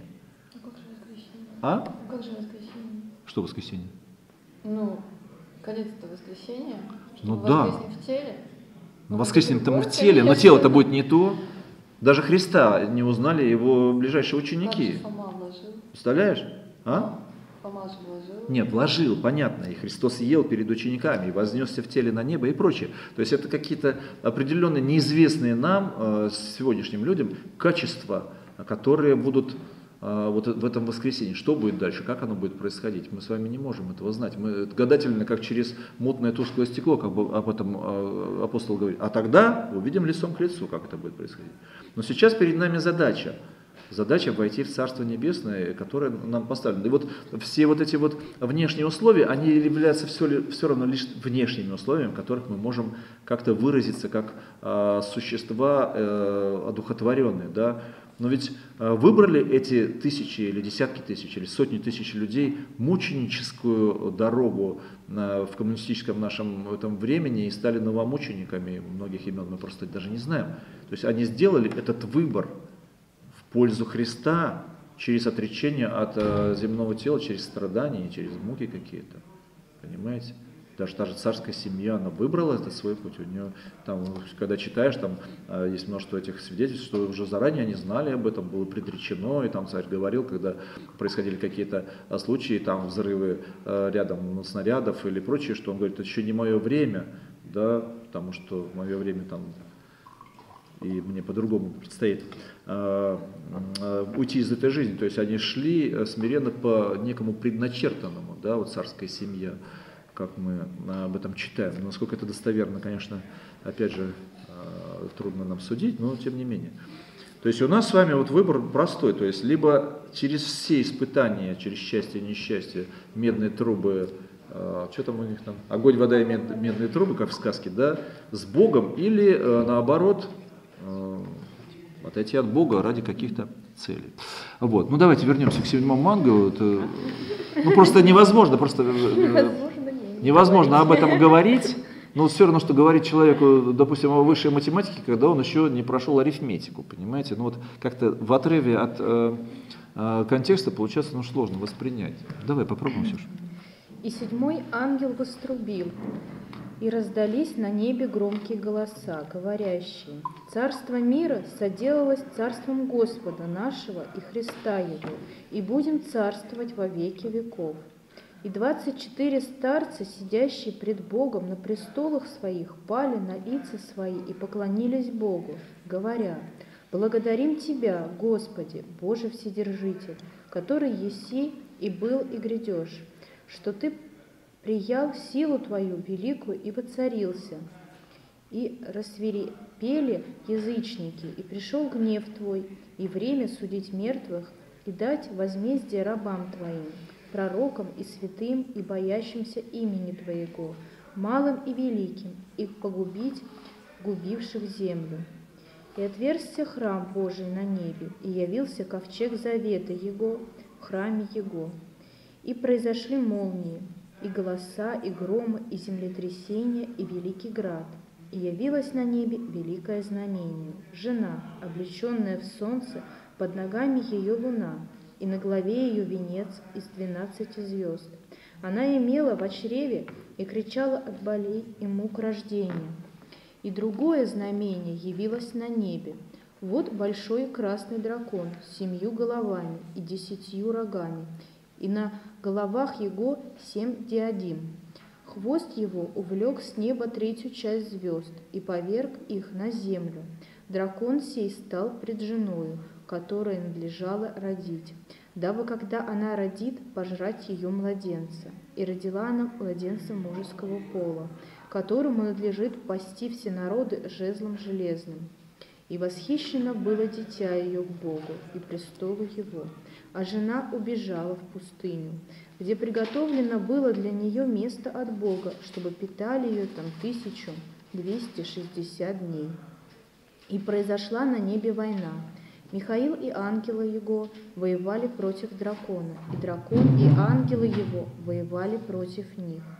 Но не устояли, и не нашлось уже для них места на небе. И низвержен был великий дракон, древний змей, называемый дьяволом и сатаною, обольщающий всю вселенную, низвержен на землю, и ангелы его низвержены с ним. И услышал я громкий голос, говорящий на небе, «Ныне настало спасение и сила, и царство Бога нашего, и власть Христа Его, потому что низвержен клеветник братьев наших, клеветавший на них пред Богом нашим день и ночь. Они победили его кровью Агнца и словом свидетельства его, и не возлюбили души, свои, не возлюбили души своей до смерти. Итак, веселитесь, небеса и обитающие на них. Горе живущим на земле и на море, потому что к вам сошел дьявол и сильной ярости, зная, что немного ему остается времени. Когда же дракон увидел, что низвержен на землю, начал, преследовать жену, которая родила младенца мужеского пола. И даны были жене два крыла большого орла, чтобы она летела в пустыню, свое место от лица змея, и там питалась, и продолжение, вре...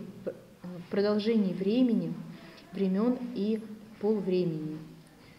И пустила змей из пасти своей вслед жены воды, как реку, дабы увлечь ее рекою. Но земля помогла жене, и разверзла земля уста свои и поглотила реку, которую пустил дракон из пасти своей. И рассверепел дракон на жену, и пошел, чтобы вступить в брань с прочими от семени ее, сохранившими заповеди Божии и имеющими свидетельство Иисуса Христа.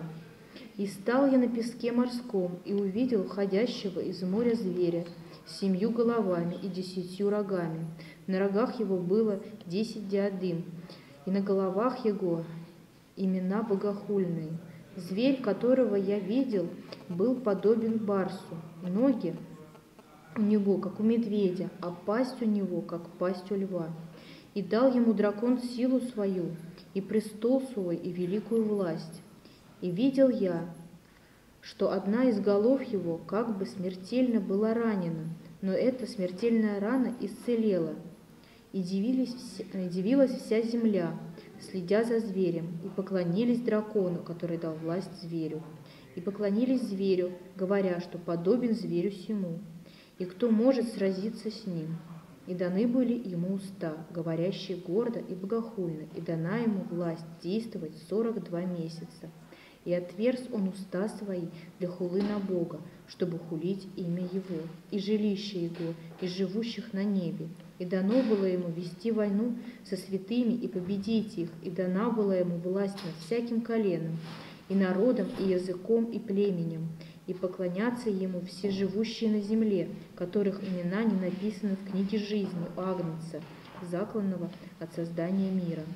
Кто имеет ухо, да слышит, кто ведет плен, тот сам пойдет в плен. Кто мечом убивает, тому самому надлежит быть убитым мечом. И здесь терпение и вера святых. И увидел я другого зверя, входящего из земли. Он имел два рога, подобный агнчим, и говорил, как дракон. Он действует пред ним со всей властью первого зверя и заставляет всю землю и живущих на ней поклоняться первому зверю, у которого смертельная рана исцелела, и творит великое знамение, так что и огонь не сводит с неба на землю перед людьми, и чудеса, которые дано было ему творить пред зверем, он обольщает живущих на земле, говоря живущим на земле, что они сделали образ зверя, который имеет раны от меча и жив. И дано ему было вложить дух и образ зверя, чтобы образ зверя и говорил и действовал так, чтобы убивать, убиваем был всякий, кто не будет поклоняться образу зверя. И он сделает то, что всем, малым и великим, богатым и нищим, свободным и рабам, положено будет начертание на правую руку или их или на чело их, и что никому нельзя будет ни покупать, ни продавать, кроме того, что имеет это начертание или имя зверя, или число имени его.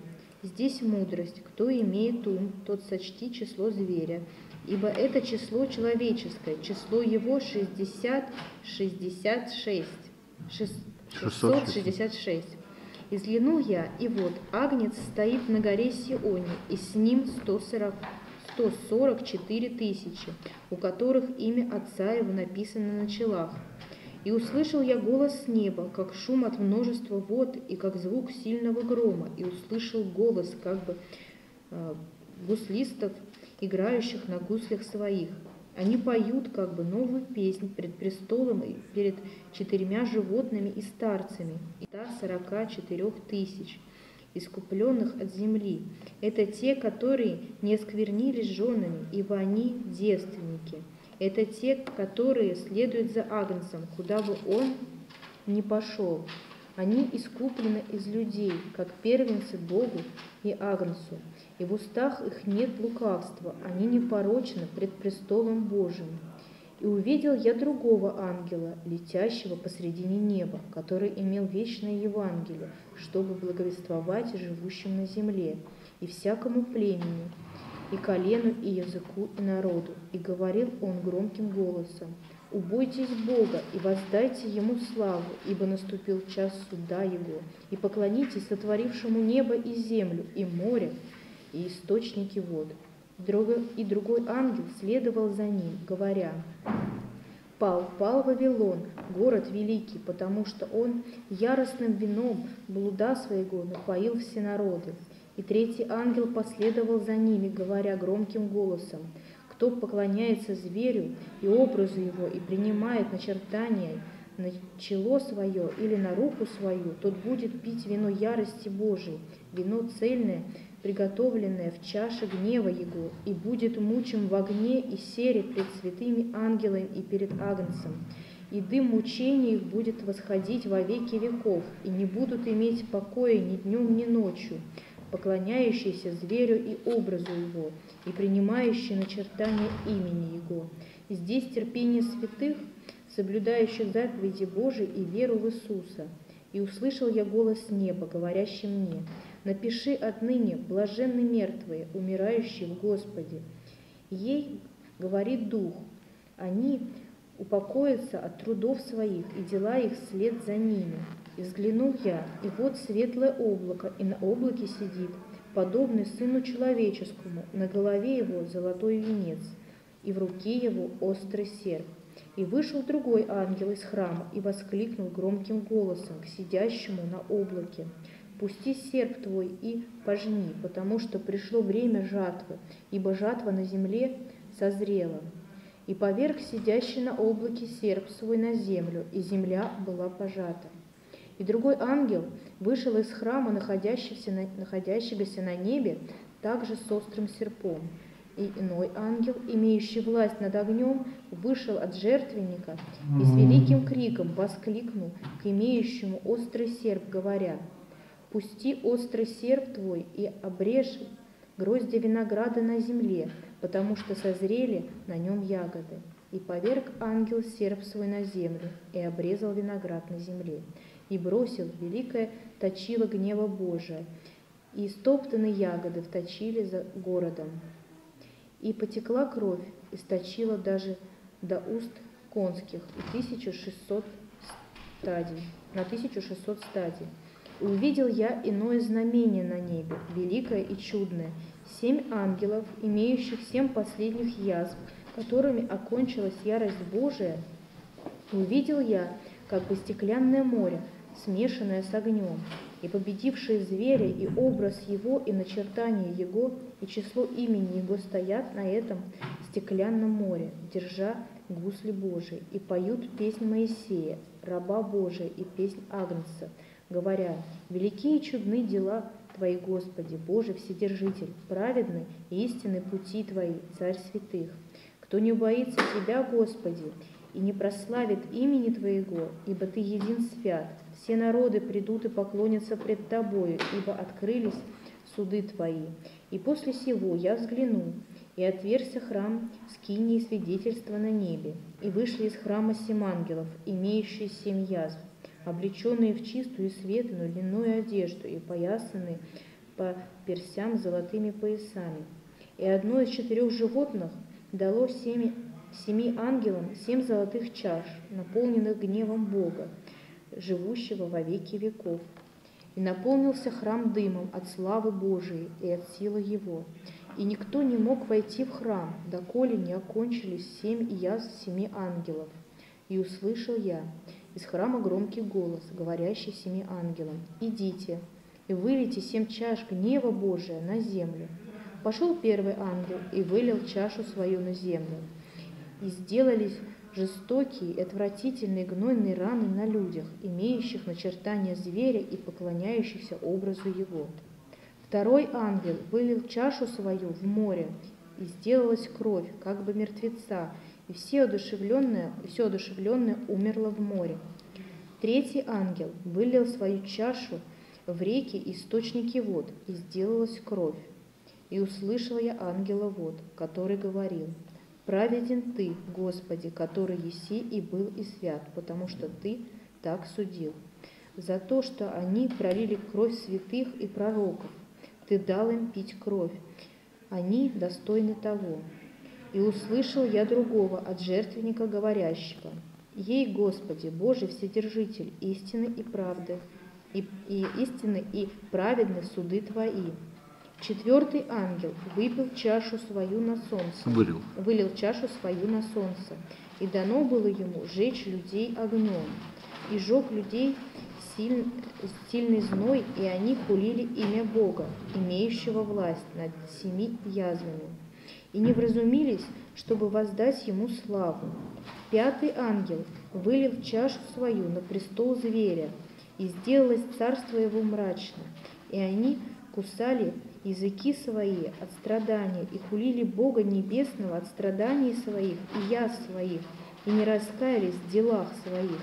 Шестой ангел вылил чашу свою в великую реку Ефра, и высохла в ней вода, чтобы готов был путь царям от восхода солнечного. И видел я выходящих из уст дракона, и из уст зверя, и из уст лжепророка трех духов нечистых, подобных жабам. Это бесовские духи, творящие знамения. Они выходят к царям земли, всей вселенной, чтобы собрать их на брань и он и великий день Бога Вседержителя. Все иду как тать. Блажен бодрствующий, хранящий одежду свою, чтобы не ходить ему ногами, чтобы не ходить ему ногим и чтобы не увидели срамоты его. И он собрал их на место, называемое по-еврейски Армагеддон. Седьмой ангел вылил чашу свою на воздух, и из храма небесного от престола раздался громкий голос, говорящий «Совершилось!» И произошли молнии, громы и голоса, и сделалось великое землетрясение, какого не было с тех пор, как люди на земле. Такое землетрясение, так великое, и город великий распался на три части, и города языческие пали, и Вавилон великий воспомянут пред Богом, чтобы дать ему чашу вина, чашу вина ярости гнева его. И всякий остров убежал, и гор не стало, и град величиною в талант пал с неба на землю, и хулили люди Бога за язвы от града, потому что язва от него была весьма тяжкая. И пришел один из семи ангелов, имеющих семь чаш, и, говоря со мною, сказал мне, «Подойди, я покажу тебе суд над великую блудницу, сидящую на водах многих. С ней блудодействовали цари земные, и вином ее блудодеяния упивались живущие на земле. И повел меня в духе в пустыню, и я увидел жену, сидящую на звере багряном, преисполненным именами богохульными, и семью головами, и десятью рогами. И жена облеч- а, облечена была в парфиру и багряницу, украшена золотом, драгоценными камнями, жемчугом, и держала золотую чашу в руке своей, наполненную мерзостями, нечистотой, блудодейства ее. И на челе ее написано имя, тайна, Вавилон Великий, мать блудницам и мерзостям земным. Я видел, что жена упоена была кровью святых и кровью свидетелей Иисусовых, и, видя ее, дивился удивлением великим. И сказал мне ангел, что ты дивишься? Я скажу тебе тайну жены и зверя, носящего ее, имеющего семь голов и десять рогов. Зверь, которого ты видел, был, и нет его, и выйдет из бездны, и пойдет в погибель. И, уви... и, и, удивля... и удивятся те из живущих на земле, имена которых не вписаны в книгу жизни от начала мира, видя, что зверь был и нет его, и явится. Здесь ум, имеющий мудрость. Семь голосов — суть семь гор, на которых сидит жена, и семь царей, из которых пять пали, один есть, а другой еще не пришел. И когда придет, недолго ему быть. И зверь, который был и которого нет, есть восьмой, из числа семи, и пойдет погибель. И десять рогов, которые ты видел, суть десяти царей, которые еще не получили царство, но примут власть со зверем, как цари, на один час. Они имеют одни мысли и предадут силу и власть свою зверю.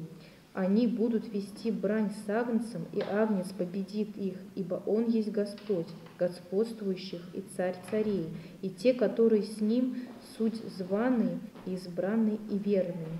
И говорит мне, воды, которые ты видел, где сидит блудница, суть люди, и народы, и племена, и языки.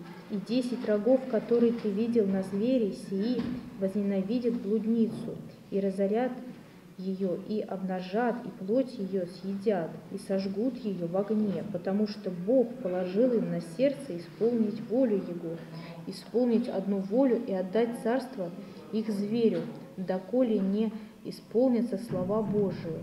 Жена же, которую ты видел, есть великий город, царствующий над земными царями. После сего я увидел иного ангела, сходящего с неба и имеющего власть великую.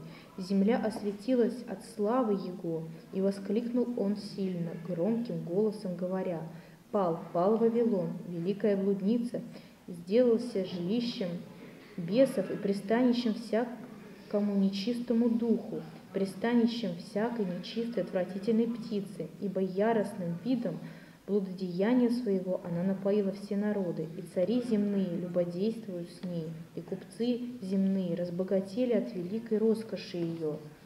И услышал я иной голос с неба, говорящий, «Выйди от нее, народ мой, чтобы не участвовать вам в грехах ее и не подвергнуться язвам ее, ибо грехи ее дошли до неба, и Бог воспомянул неправды, воспомянул неправды ее, Воздайте ей так, как и она воздала вам.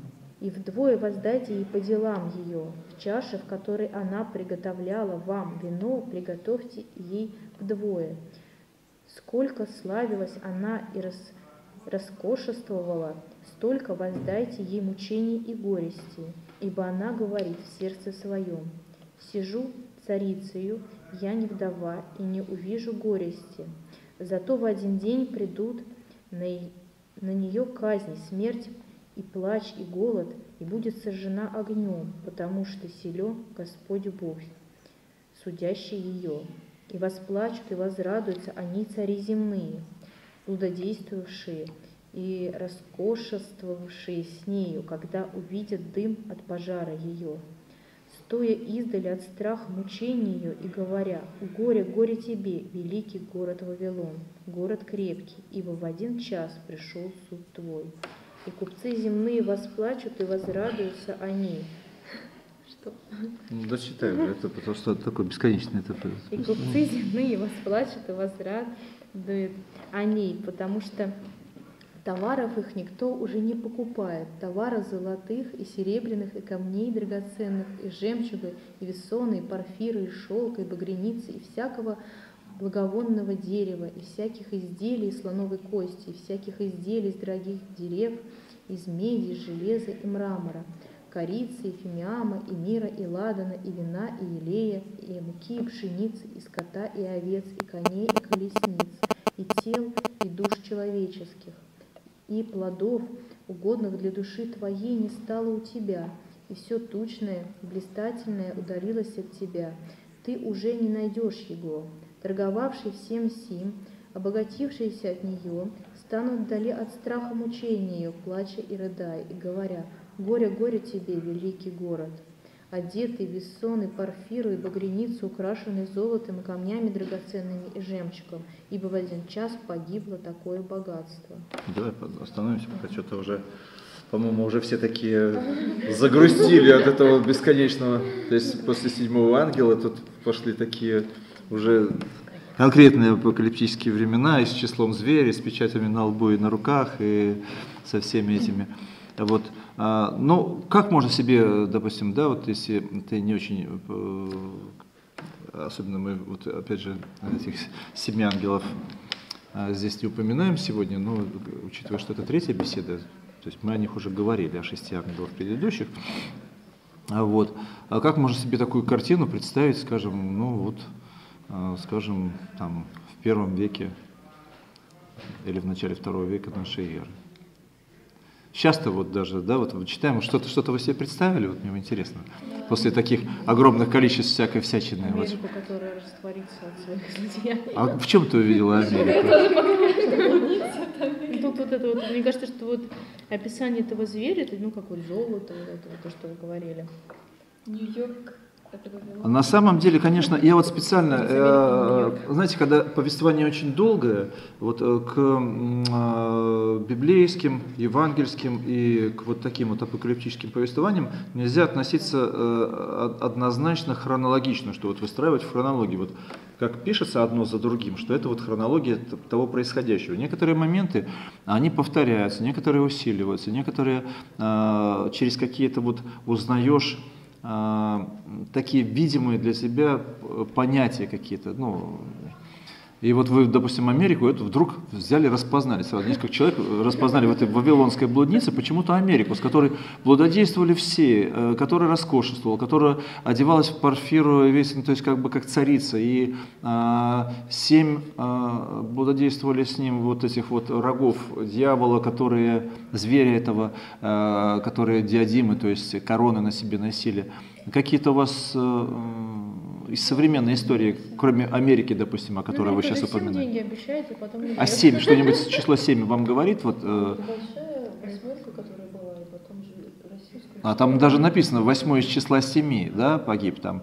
А, и семь, семь, э, несколько раз упоминается, вот, что э, э, зверь вот этот вот в лице дракона некого красного, да, с семью рогами, на которых э, семь диадим, то есть э, царских корон и так далее. Вот есть такая э, так называемая G7 или большая семерка, да, это семь наиболее сейчас э, что ли развитых стран, но в нее не входят э, страны БРИКС, которые являются половиной человечества. Да, это и Китай, и Индия, и Россия, и э, другие страны Латинской Америки, и Южная Африка и так далее. Вот. Но вот это вот как раз э, та семерка, которая решает э, судьбы всего мира и может там это, э, решить, э, какое государство уничтожить, какую экономику обложить э, санкциями, кого как поставить на место и так далее. То есть явно с э, дьявольской вот этой вот подоплекой и подосновой, да, вот и явно они получают эту дьявольскую власть от самого князя мира и так далее. То есть а, такие образы, они, я специально вот Ксюшу не останавливал, думаю, ну что, сложится в голове что-то. Вот пока вы мне сказали только об одном, что у вас сложилось об этом Вавилоне, об этой блуднице, об этой жене, которая в одночасье исчезает, а, вот, и потом весь мир удивляется, кто с ним торговал, с этой блудницей, с этим Вавилоном, кто от него получал богатство и все, и вот все удивляются, вот он был, и вдруг его нет. Ой-ой, что делать? да, куда деваться? Вдруг, вдруг исчез вот этот вот Вавилон, и это а, сверх какая-то а, страна или сверхгород, о котором тут говорится. Да? Но город это, опять же, не нужно к этому относиться как к э, конкретному, скажем, понятию города, то есть какого-то мегаполиса или там а, это может быть именно страна и какое-то стечение народов, потому что, ну, что говорить о той же Америке, почему вы могли его знать? Скажите, по каким признакам вы почему-то вот определили, что это вот э, та самая э, страна, Америка, которая вот... Сказали. Мне сразу вспомнилось то, что вот Америка всем дает деньги, ну, в смысле, обещает денег, а потом дает тоже Украине. Обещала денег не дала. Ну да, торговля. Да, то, что он со всеми торгует, то, что все у нее там все берут. Ну и там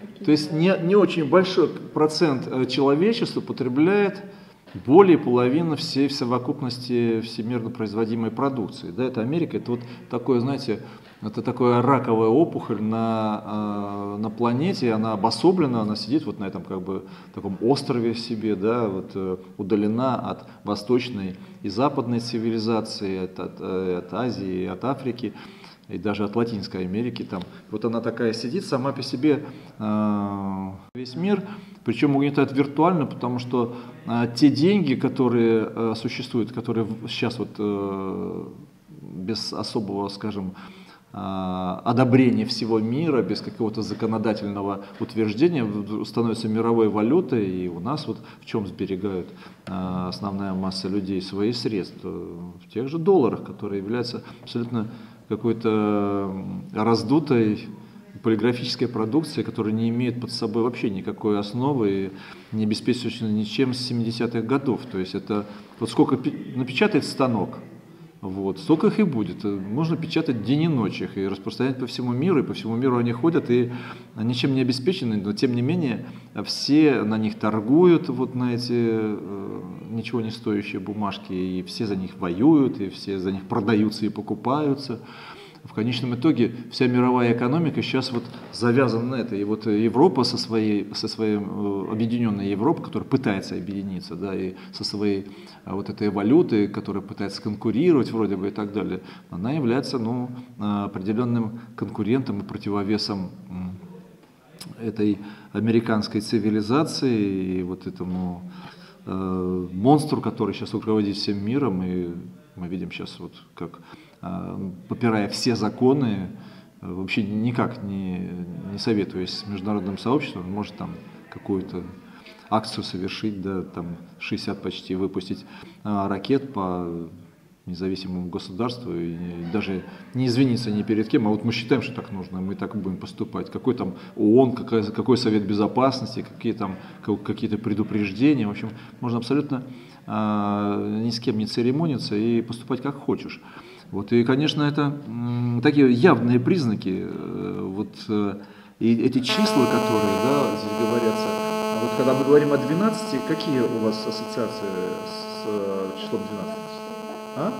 Нет, 12. Вот, там а, жена, а, которая облечена в месяц и солнце, да, вот там говорится под ногами месяц, на голове солнце, там и 12 Сейчас просто мы проскочили. А? Может, мне кажется, может быть, это наоборот Россия и все, кто типа тоже... Вот нет, э, ассоциация с числом 12 какая у вас? Самая примитивная, скажем. А?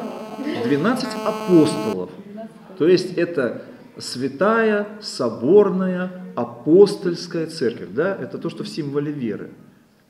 То есть вот э, жена, которая облечена э, в, вот, то есть у нее под ногами месяц, а на голове Венец у нее... звезд. Да, ну вот представим себе даже, допустим, ну кто это может быть, допустим, э, э, у кого под ногами может быть э, месяца э, на голове уже там солнце. Э, ну вот есть ли какое-нибудь географическое э, место, э, где в одном месте еще еще луна, а в другом месте уже солнце. А? Россия. Ну, Россия, безусловно, потому что на Дальнем Востоке еще месяц, а уже в Калининграде у нас уже солнце вас все шпарит. Или наоборот, понимаете, тут нет такого пространства в мире, вот как Россия, чтобы вот столько вот. Что у нас основой является нашего государства? Какая идеология или какая, ну там, я не знаю, вот мы считаем, что вот какая-то вот у нас есть какая-то мессианская роль, да? Что такое Третий Рим, да? Где этот Третий Рим? И кто такие два первых Рима предыдущих? Один, второй Рим, да, и вот третий, и четвертому уже не бывать, да? То есть Третий Рим это то самое место, в котором нам Господь по каким-то причинам, не знаю по каким, дал с вами родиться, жить и существовать. Вот то самое избранное место, место последнего пристанища христиан, вот э, того, что вот 12 э, э, этих э, звезд, да, или как там э, говорится здесь вот, то есть у нас не, не 7 диадим данные драконом и э, зверь, зверь, который не свергнут с небес после того, как произошла война между Архангелом Михаилом и вот этим зверем, да, о том, о, том, о чем мы с вами говорили. Да? То есть показана западная цивилизация с руководящими этими семью странами, которые абсолютно дьявольскую э, преследуют идеологию и цель, да, и цель воцарить антихриста, объединить глобально этот мир и подчинить его себе любыми способами, от электронных, и вот включая это число зверя, вот эти нанесение печати на э, лоб и на руку, и что без них ничего нельзя будет ни покупать, ни, ни продавать, ни приобретать. Есть об этом очень много сейчас ломается копель, уже не, не первый десяток лет, и антиглобалисты, значит, борются с ИННами, борются со штрих-кодами, борются с числом зверя, борются со всякими чипами, другие, наоборот, их всячески пытаются насадить и вживить. И вот даже в церкви у нас идут вот эти вот э, какие-то противостояния, паспорта не принимаются, значит, э, ИНН не принимаются, и какие-то числовые идентификаторы, и вот чипы все эти настораживают, которые появляются, и документы с этими. Да, вот мы с вами вот в этой как раз процедуре сейчас живем, вот во всем этом находимся, и разное чтение есть, разные мнения и у церкви, и у руководителей нашей церкви, представителей, и у отцов разных, которых мы почитаем, и у простых обычных христиан, и, а, и так далее. То есть это четкие признаки того, времени, в котором мы с вами сейчас находимся. Да, вот этот седьмой ангел вот-вот уже должен вострубить, и мы с вами предстанем как раз перед этим выбором, да, то ли за Христом шествовать и выбрать для себя это, и может быть там указано, какие муки э, люди э, претерпят и так далее за Христа, или же пойти за этим миром и потом вот покрыться этими всякими страшными язвами и прочим, потому что каждый, кто сделает свой выбор, будет нести за этот выбор определенную ответственность. Со Христом ты или с дьяволом. Что, что ты выбираешь, Христа или благополучие на этой земле материальное. То есть тут, конечно, такие еще пока образы того, что не свершилось, но то, что как-то э, пытаются уже трактовать и чему пытаются противиться, скажем, антиглобалистически настроенные э, православные люди, христиане в разных странах. Как оно будет, мы еще пока только можем так предположить из того, что говорят нам ученые. А, вот. А про э, пять ангелов вострубивших, э, которых сегодня мы, к сожалению, не прочитывали, то, что предварял это все, там как раз именно говорится о тех э, бедствиях, которые на землю уже пришли, уже свершились. Шестого ангела мы бы мы бы повторили. Ксюша, найди шестого ангела, который вострубил, вот, э, то, что в прошлый раз мы читали, чтобы немножко было понятно там, да, э, о том, что должно разразиться на земле, э, какая катастрофа. Шестой ангел вострубил и услышал один голос от четырех рогов золотого жертвенника, стоящего пред Богом, говоривший шестому ангелу – имевшему трубу, освободи четырех ангелов, связанных при великой реке Ефрате. Сейчас, давай притормозим. А, географию помните, да? Сейчас вот вспомните, какие четыре ангела или четыре государства или четыре правителя или, вот, а, находятся при реке Ефрат? Сирия, эти Курды. Ну какие, вот вспоминаем географию, да? Ну вообще говорят, что рай как раз был в междуречии, между Тигром э, и Ефратом, да, вот там находился рай, Эдем и так далее. Вот какие современные сегодня государства находятся в этом регионе? Вот?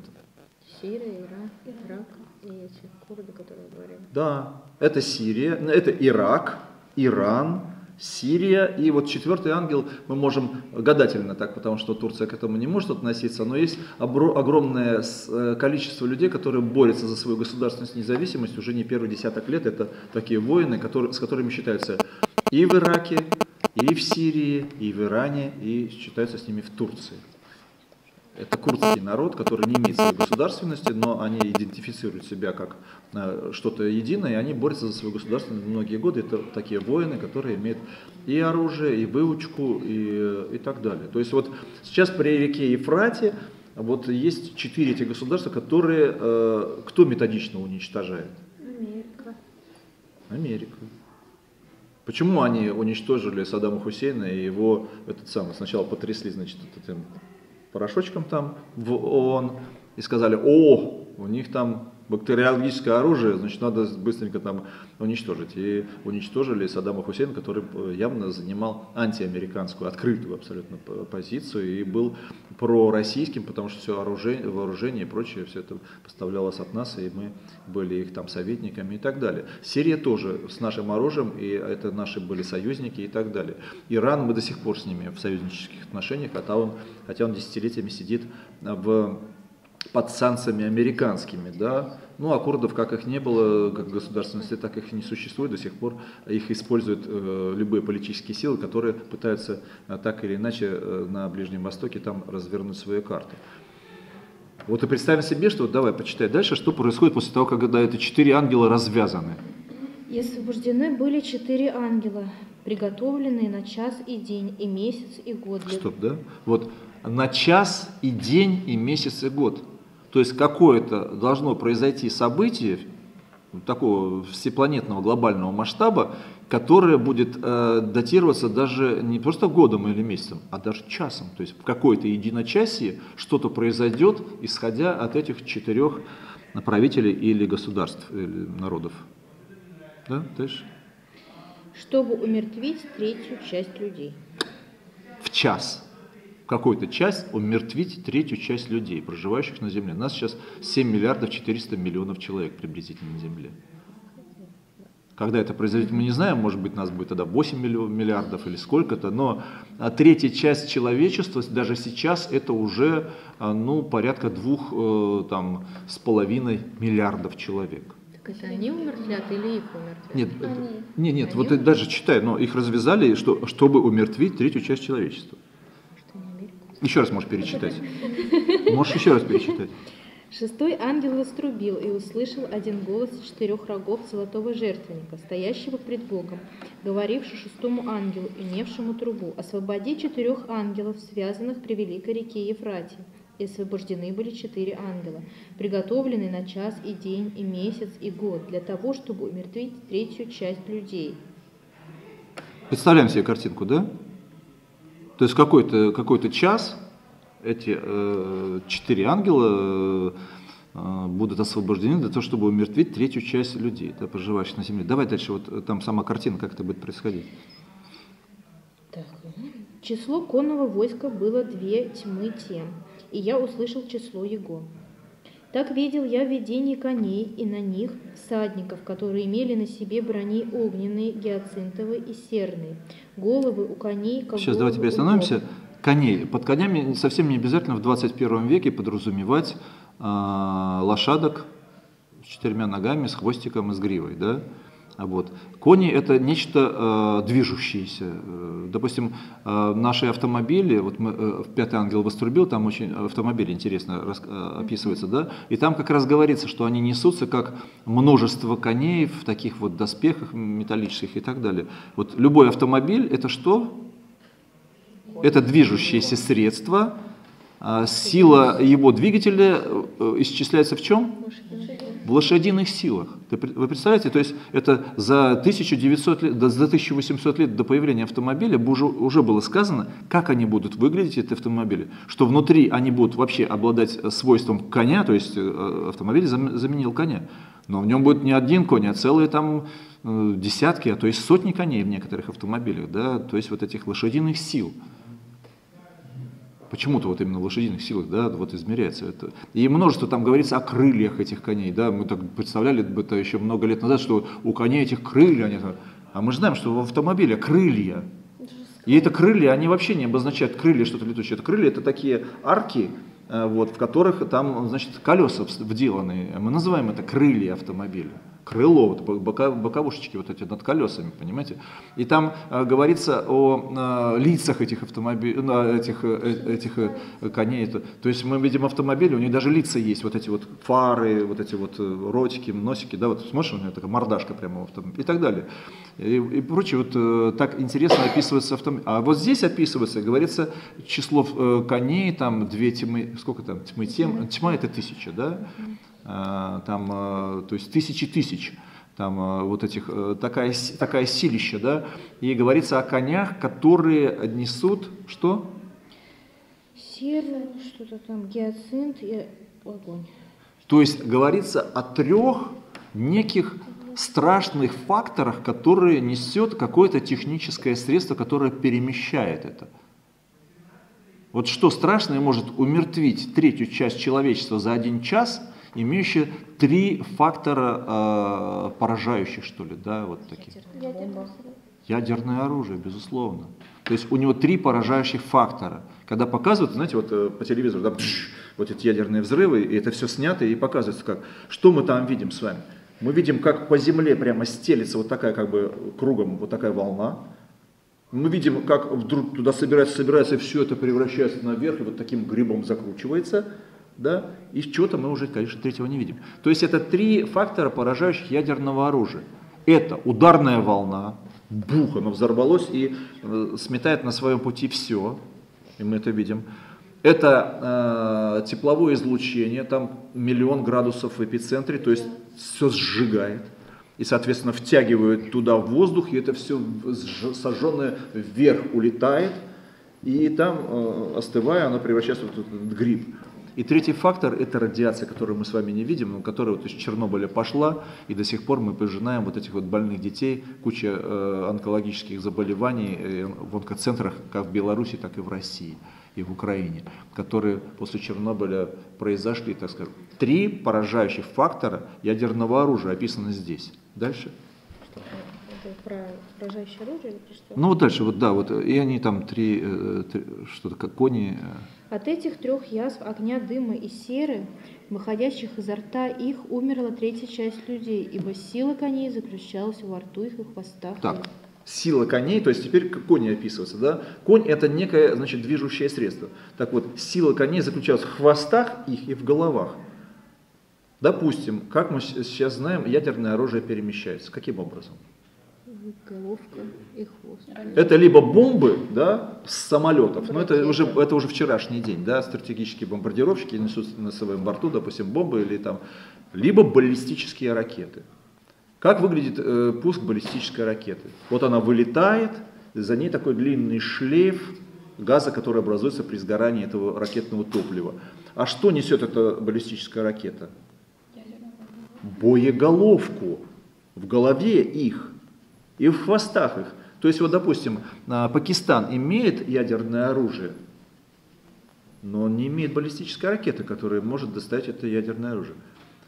А, имеет э, ядерное оружие Северная Корея, сейчас ее там пытаются застращать, да, дядюшка, дядюшка Сэм из-за океана.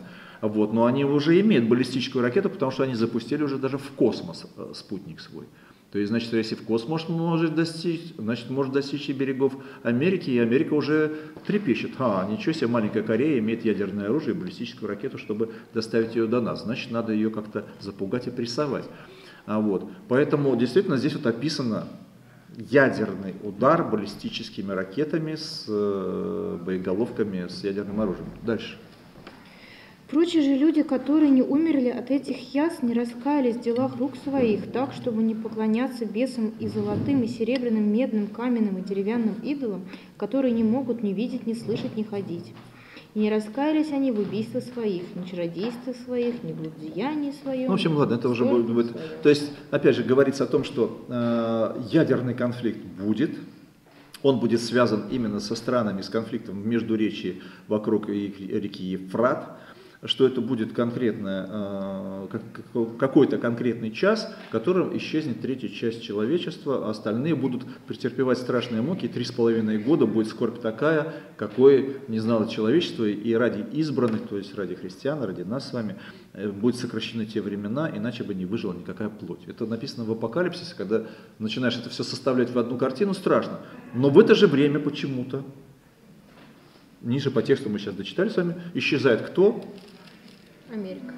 Исчезает Вавилон, с которым блудодействовали все цари земные, от которого они... Сейчас, если мы посмотрим, все озираются на Америку. Все понимают, что она плохо поступает.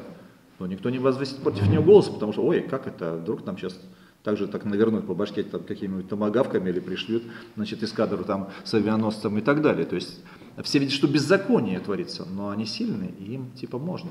И они, как сказал даже об этом э, Барак Обама, э, исключительная нация, которая имеет право на исключительные какие-то поступки. Да. А вот вы в прошлый раз рассказывали, что там у нас построили, какой-то авианосец или что-то такое вы говорили? Космодром. Нет, космодром это было. Вы говорите, что построили какие-то там корабли или подводки. Э, я думаю, что это не так интересно. Нет, это, ну, это интересно. Не могли вкратце, пожалуйста. Ой, ну это уже о нас, да, ты имеешь в виду? Ну, вот, множество произошло событий, которые, э, ну, как бы сказать, отражают сегодня, сегодня, сегодняшнее состояние наше, да, и э, как, как, вам, как вам об этом сказать? Ну, я сам военный человек, в свое время я служил на Северном флоте, и я видел э, разные виды кораблей, и атомные подводные лодки, от, от, от, от винта и до торпедного отсека, и в ядерном реакторе, где, где я только не бывал, так скажем, да, я видел эти все, все виды техники. Вот, э, и сейчас, вот когда наш президент, да, слава тебе Господи, а, вот, э, представитель спецслужб и человек, который понимает, что такое есть э, управление государством и прочее. Нам в этом смысле с вами очень повезло, потому что у нас в руководстве стоят спецслужбы, поэтому мы с вами не можем знать, что на самом деле происходит. Можем догадываться так, да, и кто-то это догадывается. Основная масса людей находится в неведении как здесь в стране, так и за рубежом. Потому что конспирологию никто не отменял. Вот, э, Комитет государственной безопасности это была одна из лучших школ, и она остается разведывательной. Поэтому что происходит в стране, знают только единицы. А, вот. И когда говорят, что у нас все плохо, и эти губернаторы воришки, и эти вот там, там ДТП, и там все плохо, и разворовываться. Вот все разворовывается, все плохо, а вдруг раз космодром возник. Не Советским Союзом, мощнейшей державы на тот момент, да, а вот э, разваливающаяся бедная Россия несчастная, которая вот там организирует и вся, и вдруг вот космодром, раз за несколько лет, и вдруг возник новый, совершенно абсолютно вот современнейший в Сибири. Где? Как? Как это вот? вот? В каком году? А вот в прошлом году уже запуски пошли, пошли первые наших носителей. Как это? Вот еще даже вроде как призадержали там в связи с там олимпиадами, с прочими, там где-то призадержали это строительство, но тем не менее космодром он сейчас достраивается, он выйдет сейчас на полную мощность, и к 2020 году мы можем отказаться от Байконура, который в Казахстане находится, который мы арендуем до сих пор и так далее.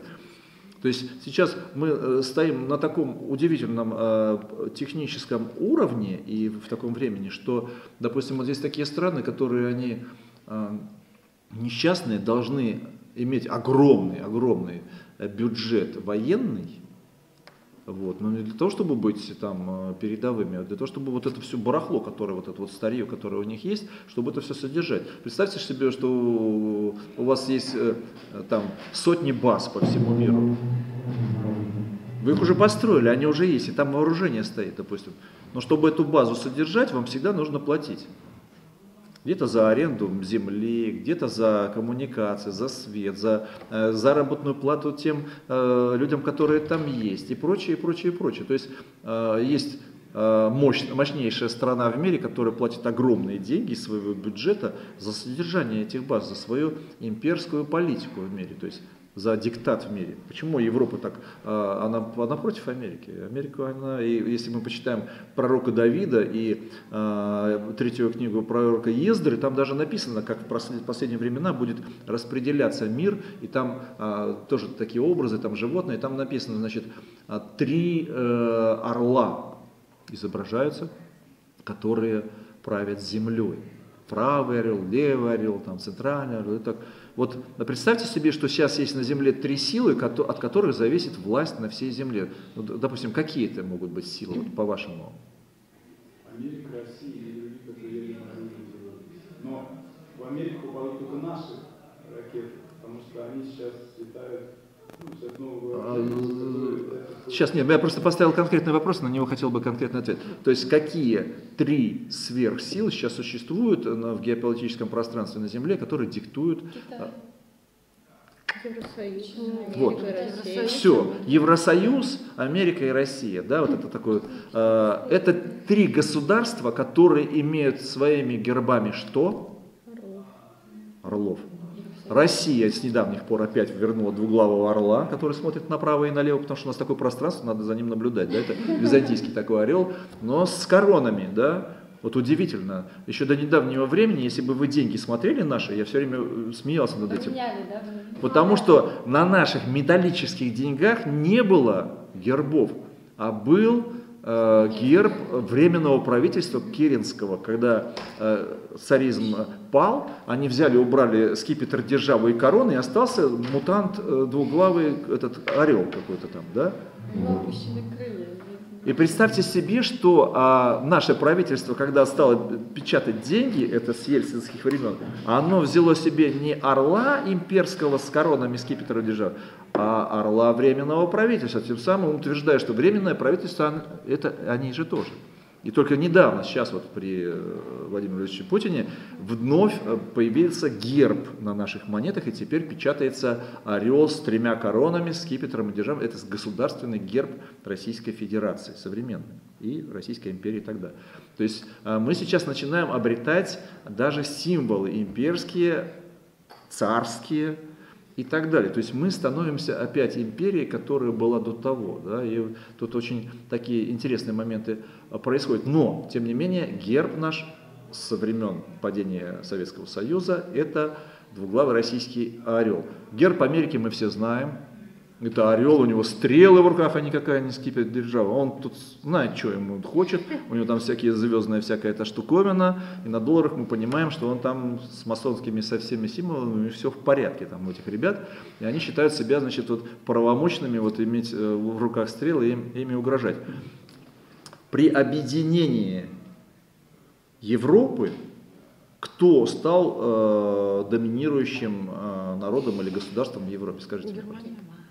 Германия, конечно. И сейчас вот Франция пошатнулась, пока у нее сейчас выборы, Франция какую-то вторую позицию держит. Британия, понятно, они там сидят сидят на острове и даже обратно побежали из Евросоюза, потому что у них свои там интересы. Пускай тут они на, на, на этом, на континенте разбираются. Конечно, Третий Рейх, вот он уже. То есть все, самое сильное э, не в военном отношении, в военном отношении сейчас Германия не самое сильное, экономические. Но э, в Объединенной Европе она получила сразу ядерное оружие Франции, Объединенная Европа. Это ядерное э, объединение, держава и доминирует, естественно, Германия. Она сейчас занимает лидирующую позицию. То есть без войны, без всяких блицкригов. Европа поклонилась Германии, и она, она уже существует. И у Германии вот такой орел. У него кулачищи вот такие, вот посмотрите, его герб.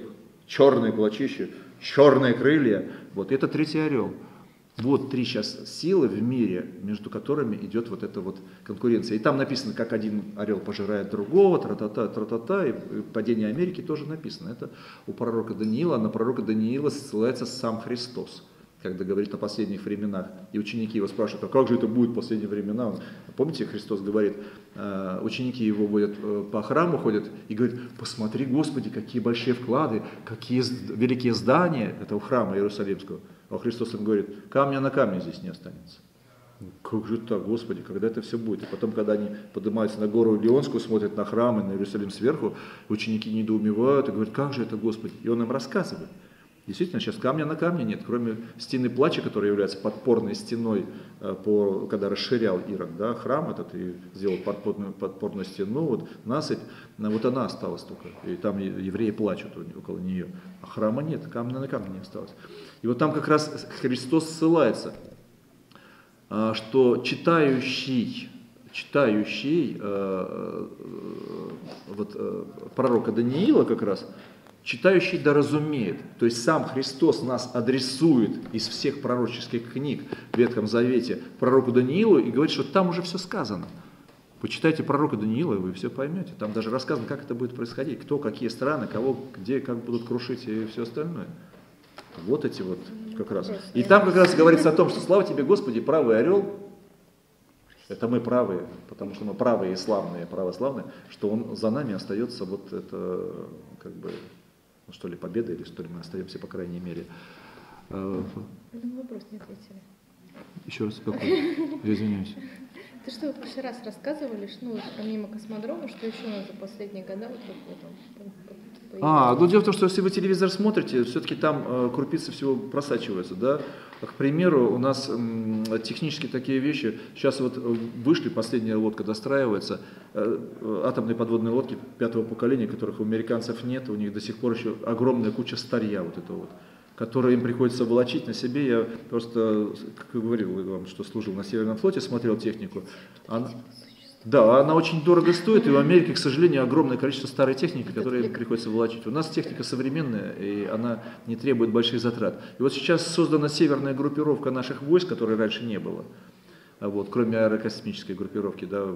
И теперь Северный Ледовитый океан, через который как раз Америка может нас, э, мягко выражаясь, поражать ядерными баллистическими ракетами этими, они теперь ограждены для э, американских подводных лодок. Они не могут войти в наши территориальные воды, потому что установлены глубоководные специальные аппараты небольшие, которые прослушивают все, абсолютно всю акваторию, все, все границы наши и передают на специальные установки, которые поражают э, скажем, подводные и надводные цели.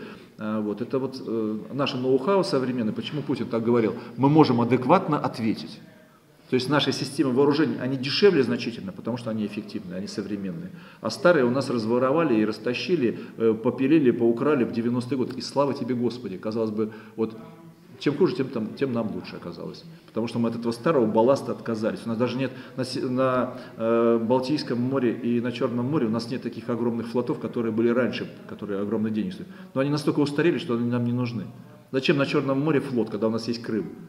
Из Крыма все Черное море современными э, радиолокационными средствами прослушивается и все страны. И они поражаются всем э, вооружением, которое у нас есть. Нам корабли даже не нужны там. Потому что из Черного моря, из Балтийского не выйти, там узкие проливы и все. А на самих морях ничего делать. Сейчас вот вокруг Калининграда идут учения натовские всякие. А Калининград такой островок вот такой вот посредине Западной Европы, там, между Польшей и Германией, там это бывшая Пруссия, где стоит куча значит, ракет, извините, с этими тремя поражающими факторами, и стоят радиолокационные установки, там даже корабли особо сильно не нужны. И оттуда можно просто, мягко выражаясь, грубо говоря, с Европой разговаривать. И со Скандинавией, и с Европой. И вот сейчас такие системы вооружения современные, вот Путин поэтому так уверенно говорит, мы можем нанести адекватный и там тра-та-та удар, потому что вот, вот так мы сейчас устроены по современному военному строительству. Слава тебе, Господи. Поэтому мы можем быть э, с вами э, спокойны и вот думать, а что наш президент такой наглый? У нас ВВП вот такое низкое, значит, промышленность у нас там какая-то непонятная, все как-то чего-то. И вдруг он так нагло отвечает вот этой Америке. И, и Кирилл Лавров вот так вот говорит госсекретарю там, но мы вообще-то против вашим. И что дальше? И такой госсекретарь так поерзав, так немножко думает, ё, а что ж дальше-то? Это как в том анекдоте, да, как волк идет, я уже сказал, волк идет по лесу и составляет себе меню. Так, на обед. Кабанчик, так, значит, на завтрак зайчик, так, на ужин, раз такой еж мимо пробегает, а вот, раз, раз э, это, иголками он раз трогает, о, колется, а вот, а, и, и так пишет, так, еж, мы тебя вычеркиваем.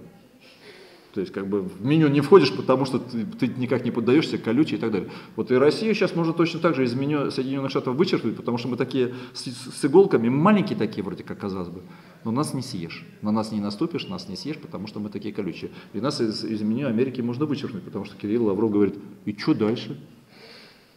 Мальчик, ты что сюда приехал? Ты пятый у меня на счету, Президент у нас с ядерной кнопкой, у нас, значит, все система нового вооружения там из космоса и вот здесь вот. И что дальше, что вы нам хотите там сказать? Мы, в принципе, можем сейчас бесполетную зону устроить над всем Ближним Востоком, потому что, когда вы сбили наш самолетик, наших расстреляли этих летчиков, да, двоих, подло, вы открыли нам э, абсолютно законно путь к тому, чтобы мы поставили S400, у вас, то есть на 800 километров в диаметре мы этими штуковинами э, покрываем все пространство от одной границы до другой. То есть, извините, все между речи, все эти сами, они все уже теперь под нашим контролем современнейших наших противовоздушных ракет. И чего теперь делать? Понимаете? То есть, в принципе, может разразиться ядерный конфликт. Вот просто вот они скажут, сейчас мы объявим типа там бесполетную зону. Как, как вы ее объявите? Какими средствами? У нас стоит С-400, мы сейчас объявим ну, тогда бесполетную зону. Там. Никакая американская штука, там магавки уже тогда не, не смогут полететь, потому что вы нарушите там какие-нибудь законодательства, потому что нас правительство Сирии туда призвало, мы туда пришли по его приглашению, Совет Безопасности ООН дал нам на это разрешение, и мы поэтому вошли, и мы абсолютно законно, вы все незаконно делаете, поэтому все под колпаком. В общем, конечно, это очень сложные такие политические моменты, но э, я... Э, я очень рад за всех нас, что мы вот сейчас являемся представителями той самой светлой, белой христианской силы, силы добра, которая есть на земле. И она олицетворяется в лице нашего руководителя, в лице нас с вами и нашей церкви, русской православной, которая сейчас прессует со всех сторон. И вот меня завтра позвали на съемку передачи фильма по передаче Исаакиевского собора, потому что там Петровский выступил, там Городницкий, да, казалось бы, выступил против передачи и так далее. И нам сейчас надо выступать и доказывать, что мы, значит, не ослы, вот, и что на храме там написано «храм мой, дом мой, дом, храм молитвы наречется», значит, а там, значит, люди просто восстают против того, что «а что это русская православная церковь должны церковь передать?» Что это церковь вообще церкви должны передавать? Понимаешь? Там, да, да, что там, торгующие должны быть. Христос пришел, сказал, ну, храм и храм молитвы наречется, а вы тут сделали его вертепом разбойником.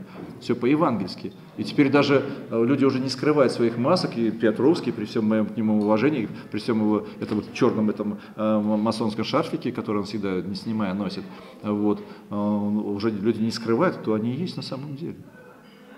Внутри нашего государства, а не снаружи. То есть что, через Исаакин, через как лакмусовую бумажку теперь можно уже определить, а, кто есть кто, кто с нами, кто против нас, кто за нас, кто не с нами, тот против нас. Это уже Христос сказал, понимаете?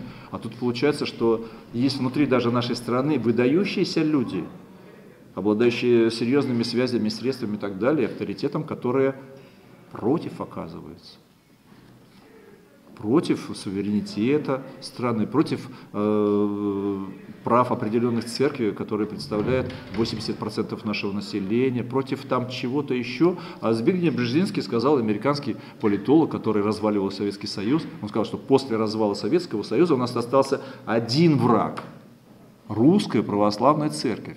И сейчас идет массированный удар по очень серьезно э, в мире, э, э, скажем так, прогрессирующей и э, получающей огромный вес русской православной церкви. Как на нашего патриарха наехали после того, как Папа Римский приехал к нему в Гавану там, и встретился. Вы видели, как патриарх встречал Папа Римский? Да. Сколько он подарков раздавал? Ни одного. Нисколько. А сколько Папа Римский раздавал подарков? Всем. О чем это говорит? Что папа, наш патриарх заигрывал с Папой Римским? Он говорит, о, давай Папа Римский, мы сейчас с тобой встретимся, мы сейчас там что-то там. Нет, он икону подарил так, чтобы для вразумления. Давайте вот типа молитесь там, но это очень серьезный жест, потому что ну, здесь, когда приезжает патриарх, он дарит и здесь везде икону и так далее. А Папа Римский всех задаривал э, наших представителей всей нашей делегации какими-то подарками, заигрывал перед этим, потому что перед этой силой уже невозможно, значит, как бы с этой силой невозможно не считаться.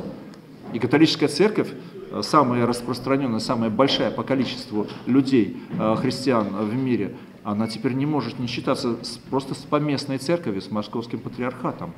Потому что московский патриархат имеет, как и католическая церковь, все, во всех странах основных имеет свои церкви, объединившись вот с русской православной церковью за рубежом. И с нами невозможно не считаться. И что, американцы это просто так упустят, и все спецслужбы всего мира, которые работают после нас, э, против нас? Безусловно, любой компромат. Вот сейчас Исаки, вокруг Исаки возня. Какие-то там придумают часы патриарху, какие-нибудь там, каких-нибудь попов найдут там, э, ну, как говорится, всякое бывает, но вот э, до невероятных размеров раздувается все, что возможно вокруг русской православной церкви. Столько сейчас грязи льется, и вот этот вот РПЦ уже стал чем-то, знаете, таким нарицательным. И про патриарха такие вещи пишутся, даже мне вот э, родственники мои пишут, которые попали в это поле. Вот. Э, такой компромат высококачественный там в интернете есть, знаете, так снятые ролики прямо очень дорого. Но видно, что это не за три копейки сделано, и что это режиссура там серьезная, и операторская работа серьезная. И мы понимаем, что это, ну кто понимает, конечно, что это вообще-то серьезная работа на развал нас, потому что мы сейчас слишком сильно становимся. И духовно, и, э, допустим, даже в Баварии там, да, э, когда вот все, все эти крымские дела были, э, в пивных этих то, за что мы воевали, тысячи, десятки тысяч людей э, погибли в Севастопольскую, Крымскую кампанию и так далее, и во Вторую мировую войну, десятки, сотни тысяч, а тут бах, без всего. И они, они там уважают его. Кто-то, кто-то боится, кто-то уважает. Поэтому, слава Богу, при том авторитете, который имеет сейчас в мире наш правитель, наш президент, при том авторитете, который и имеет э, Русская Православная Церковь, у нас с вами, вот то, что здесь в Апокалипсисе написано, оно прямо вот сейчас вот просто уже, знаете, оно сейчас выражается. И этот, и этот э, правитель железным жезлом, там написано, даже будет пасти весь мир. То есть нам не надо его пасти, мы ни, ни на кого не претендуем. Но кто там с мечом придет, от меча и погибнет. Там сказано о том, что кто в рабство ведет, тот в рабстве оказывается, кто меч, меч берет, тот от него и погибает. То есть вот мы с вами в этом состоянии, мы оправданы со всех сторон. Мы ни, ни на кого не лезем. Если лезем, то только потому, что нас пригласили, потому что надо защищать наших союзников в этой Сирии или там еще где-нибудь. Поэтому э, вот мы с вами в таком удивительном положении, согласно апокалипсису да, все, время уже... Следующий раз, если вы придете, мы сразу все обсудим, продолжим. Может быть, мы не будем больше Смиритесь, мы ничего не разобрали из того, что Почему? Почему? Мы даже дошли до Америки, как она исчезает. Мы же не разобрали. Что. Что, еще раз? Как же предсказания Серафима Горецкого? Просто вы так О чем? говорите, что такая утопия, что, что в России, у него же есть, ну я читала, что он предсказал, что Серафим Борисович, что Россия распадется. До Урала останется Россия. А, до... Ты неправильно э, восприняла. Там не было о том, что распадется. Что дойдут э, китайцы, что, э, значит, что китайцы дойдут до Урала, но потом остановятся, и потом... Европа. Подожди, э, не, не искажай просто факты. И ученик его сокрушался, а Серафим Верийский ему говорит, так Господу угодно, ибо Восток будет креститься России здесь, у нас. И так Богу угодно, чтобы э, Восток этот крестился, и чтобы они пришли э, через э, вот это воссоединение с Россией, перешли христианство и к Богу. Понимаешь? И что все, все святые на небесах и на, и на земле молятся о просвещении Востока. Иоанн Кронштадтский куда хотел поехать? Нет, ну это же Когда он выпускался, он по хотел поехать либо туда, в Америку, либо просвещать Китай а Господь его направил в Кронштадт, чтобы разбираться еще со своей Россией. А сейчас действительно, у нас учатся в нашей семинарии там китайцы, и христианство в Китае, хоть там религия запрещена до сих пор, как вот это было в советское время у нас, а, у них коммунисты, коммунисты у власти до сих пор, и так далее. Но все запрещено, оно еще больше а, вызывает у человека интерес и желание. И поэтому китайцы, они там написано, без войны, у Серафима Врицкого будет сказать, без войны они будут ассимилироваться, они будут жениться на наших женщинах, потому что мужиков не хватает, они будут там э, предпринимательством заниматься, осваивать эти все территории, и в конечном итоге, знаете, э, ты боишься бурятов, а ивенков, а якутов ты боишься? Они тоже узкоглазые, тоже широколицые, монголоидные такие эти. Но они говорят на русском языке, они поддерживают наш, принимают нашу культуру, да, вот как в Америку, да, там, чтобы ты получил гражданство, ты должен сдать э, целый экзамен, там, ты должен хорошо владеть языком, и ты должен принимать политическое устроение, культуру даже клятву дать.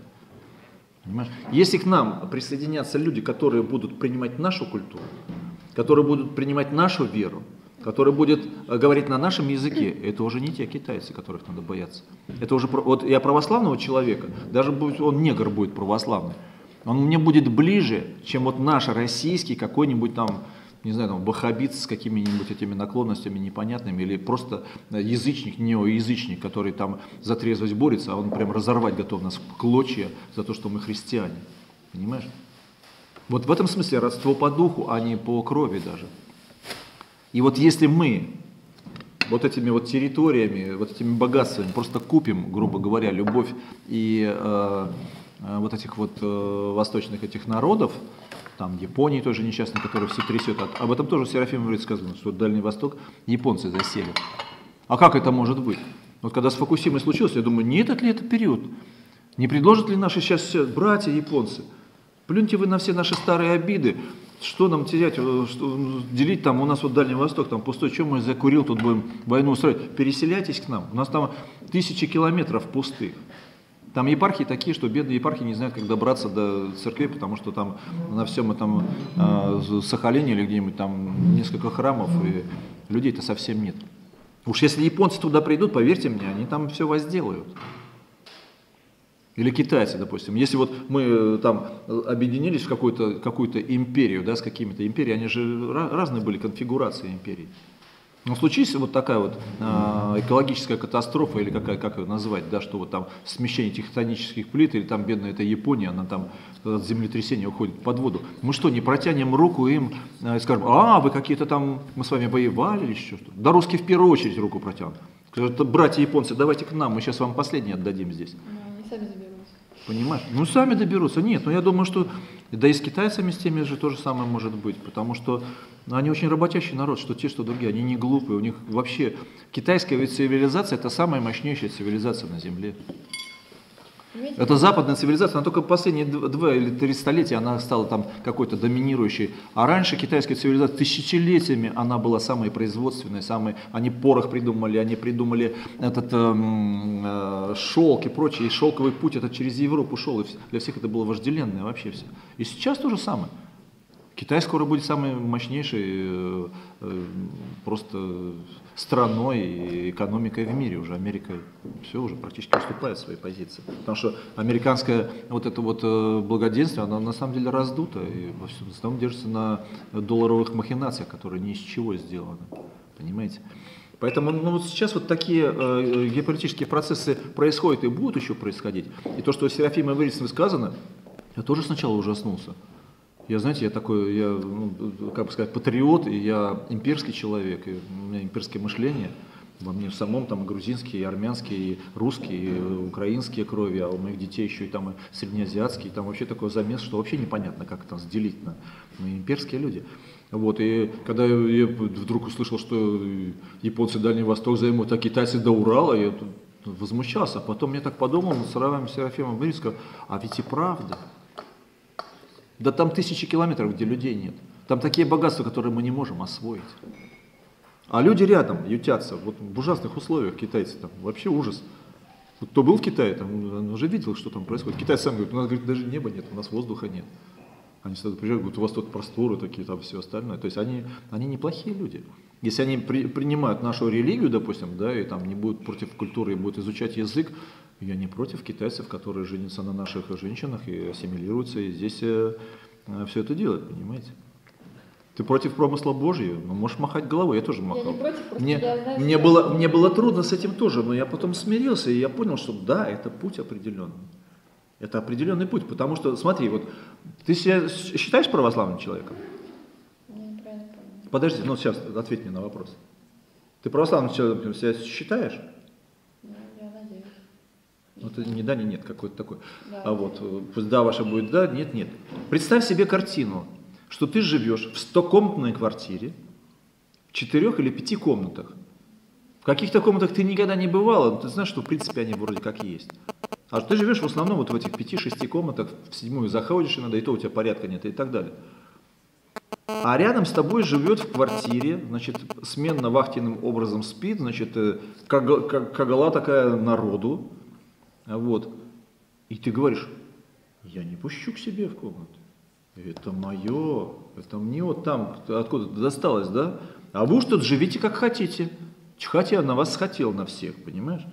И это мы будем считать православным подходом, то есть христианским подходом, да? Когда мы вот сидим, сами не пользуемся, как собака носить, но другим не дадим ни в коем случае. Вы уж живите как хотите там. Мы здесь это все. Понимаешь, а, одно дело государственный подход, и тут я тоже не, не пяди земли, там, ни клочка, ничего-то, а другое дело это христианский подход к человеку. То есть, когда ты должен э, ближнему своему, там, не знаю, все отдать и жизнь за него положить. Понимаешь, а ближний это не твой единоверец и даже не соотечественник. Ближний это, это иудей для самарянина, который лежит побитый, которому самарянин отдает своего осла, своим вином обрабатывает ему раны, своим маслом это все обрабатывает, везет его, а сам идет рядышком. Потом в гостинице оставляет, платит за него, и потом возвращает, говорит еще, я возвращусь еще, доплачу, если что-то потеряли. А он вообще ему враг. Понимаешь? То есть мы вот э, считаем себя христианами, но и христианами по сути дела не являемся. Мне навязали сейчас э, мнение, которое я не выражала. Я говорила совсем о другом. Так, еще раз, может быть, я не понял, прости. А о том, что они не будут, я, ну, если говорить о ассимиляции, я просто знаю ситуацию, я была в Восточной Сибири, я вижу, как китайцы заселяют уже половину Иркутской области, где в Иркутске названы улицы на китайском языке, и если они примут христианство, пожалуйста, но пока они его не принимают. Они просто заселяют наш... Солнце мое, вот э, опять же, ты э, попробуй, э, скажем, встать на мое место и понять, что я не, э, не тот человек, который придумал эту концепцию, я какой-то враг. просто- Понимаешь? Я просто когда вот это прочитал, у Серафима, а потом я еще прочитал в нескольких местах что- об этом, что это будет, что китайцы там придут и так далее. Вот. Я тоже сначала расстроился очень сильно, и про японцев расстроился.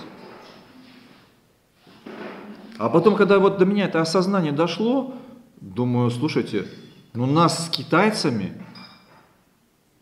ну почти 2 миллиарда с японцами, да, как сербы говорят, да, нас с русскими 200 миллионов.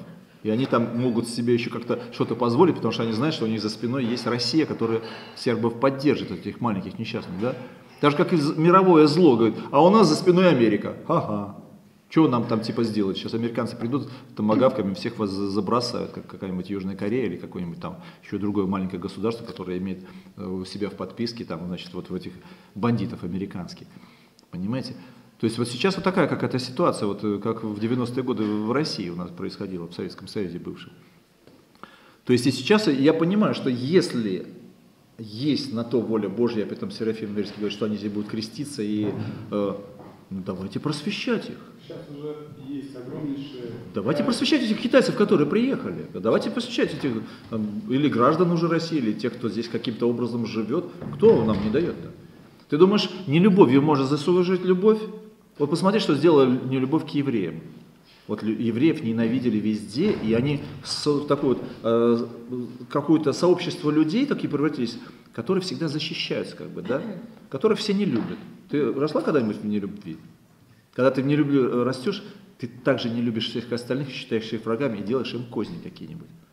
Только любовь созидает. Вот если мы будем их любить, да, вот если люб- японцам, тонущим на этих островах, мы протянем руку, скажем, японцы, братья, давайте, вот мы с вами там поделимся всем, давайте, живите здесь.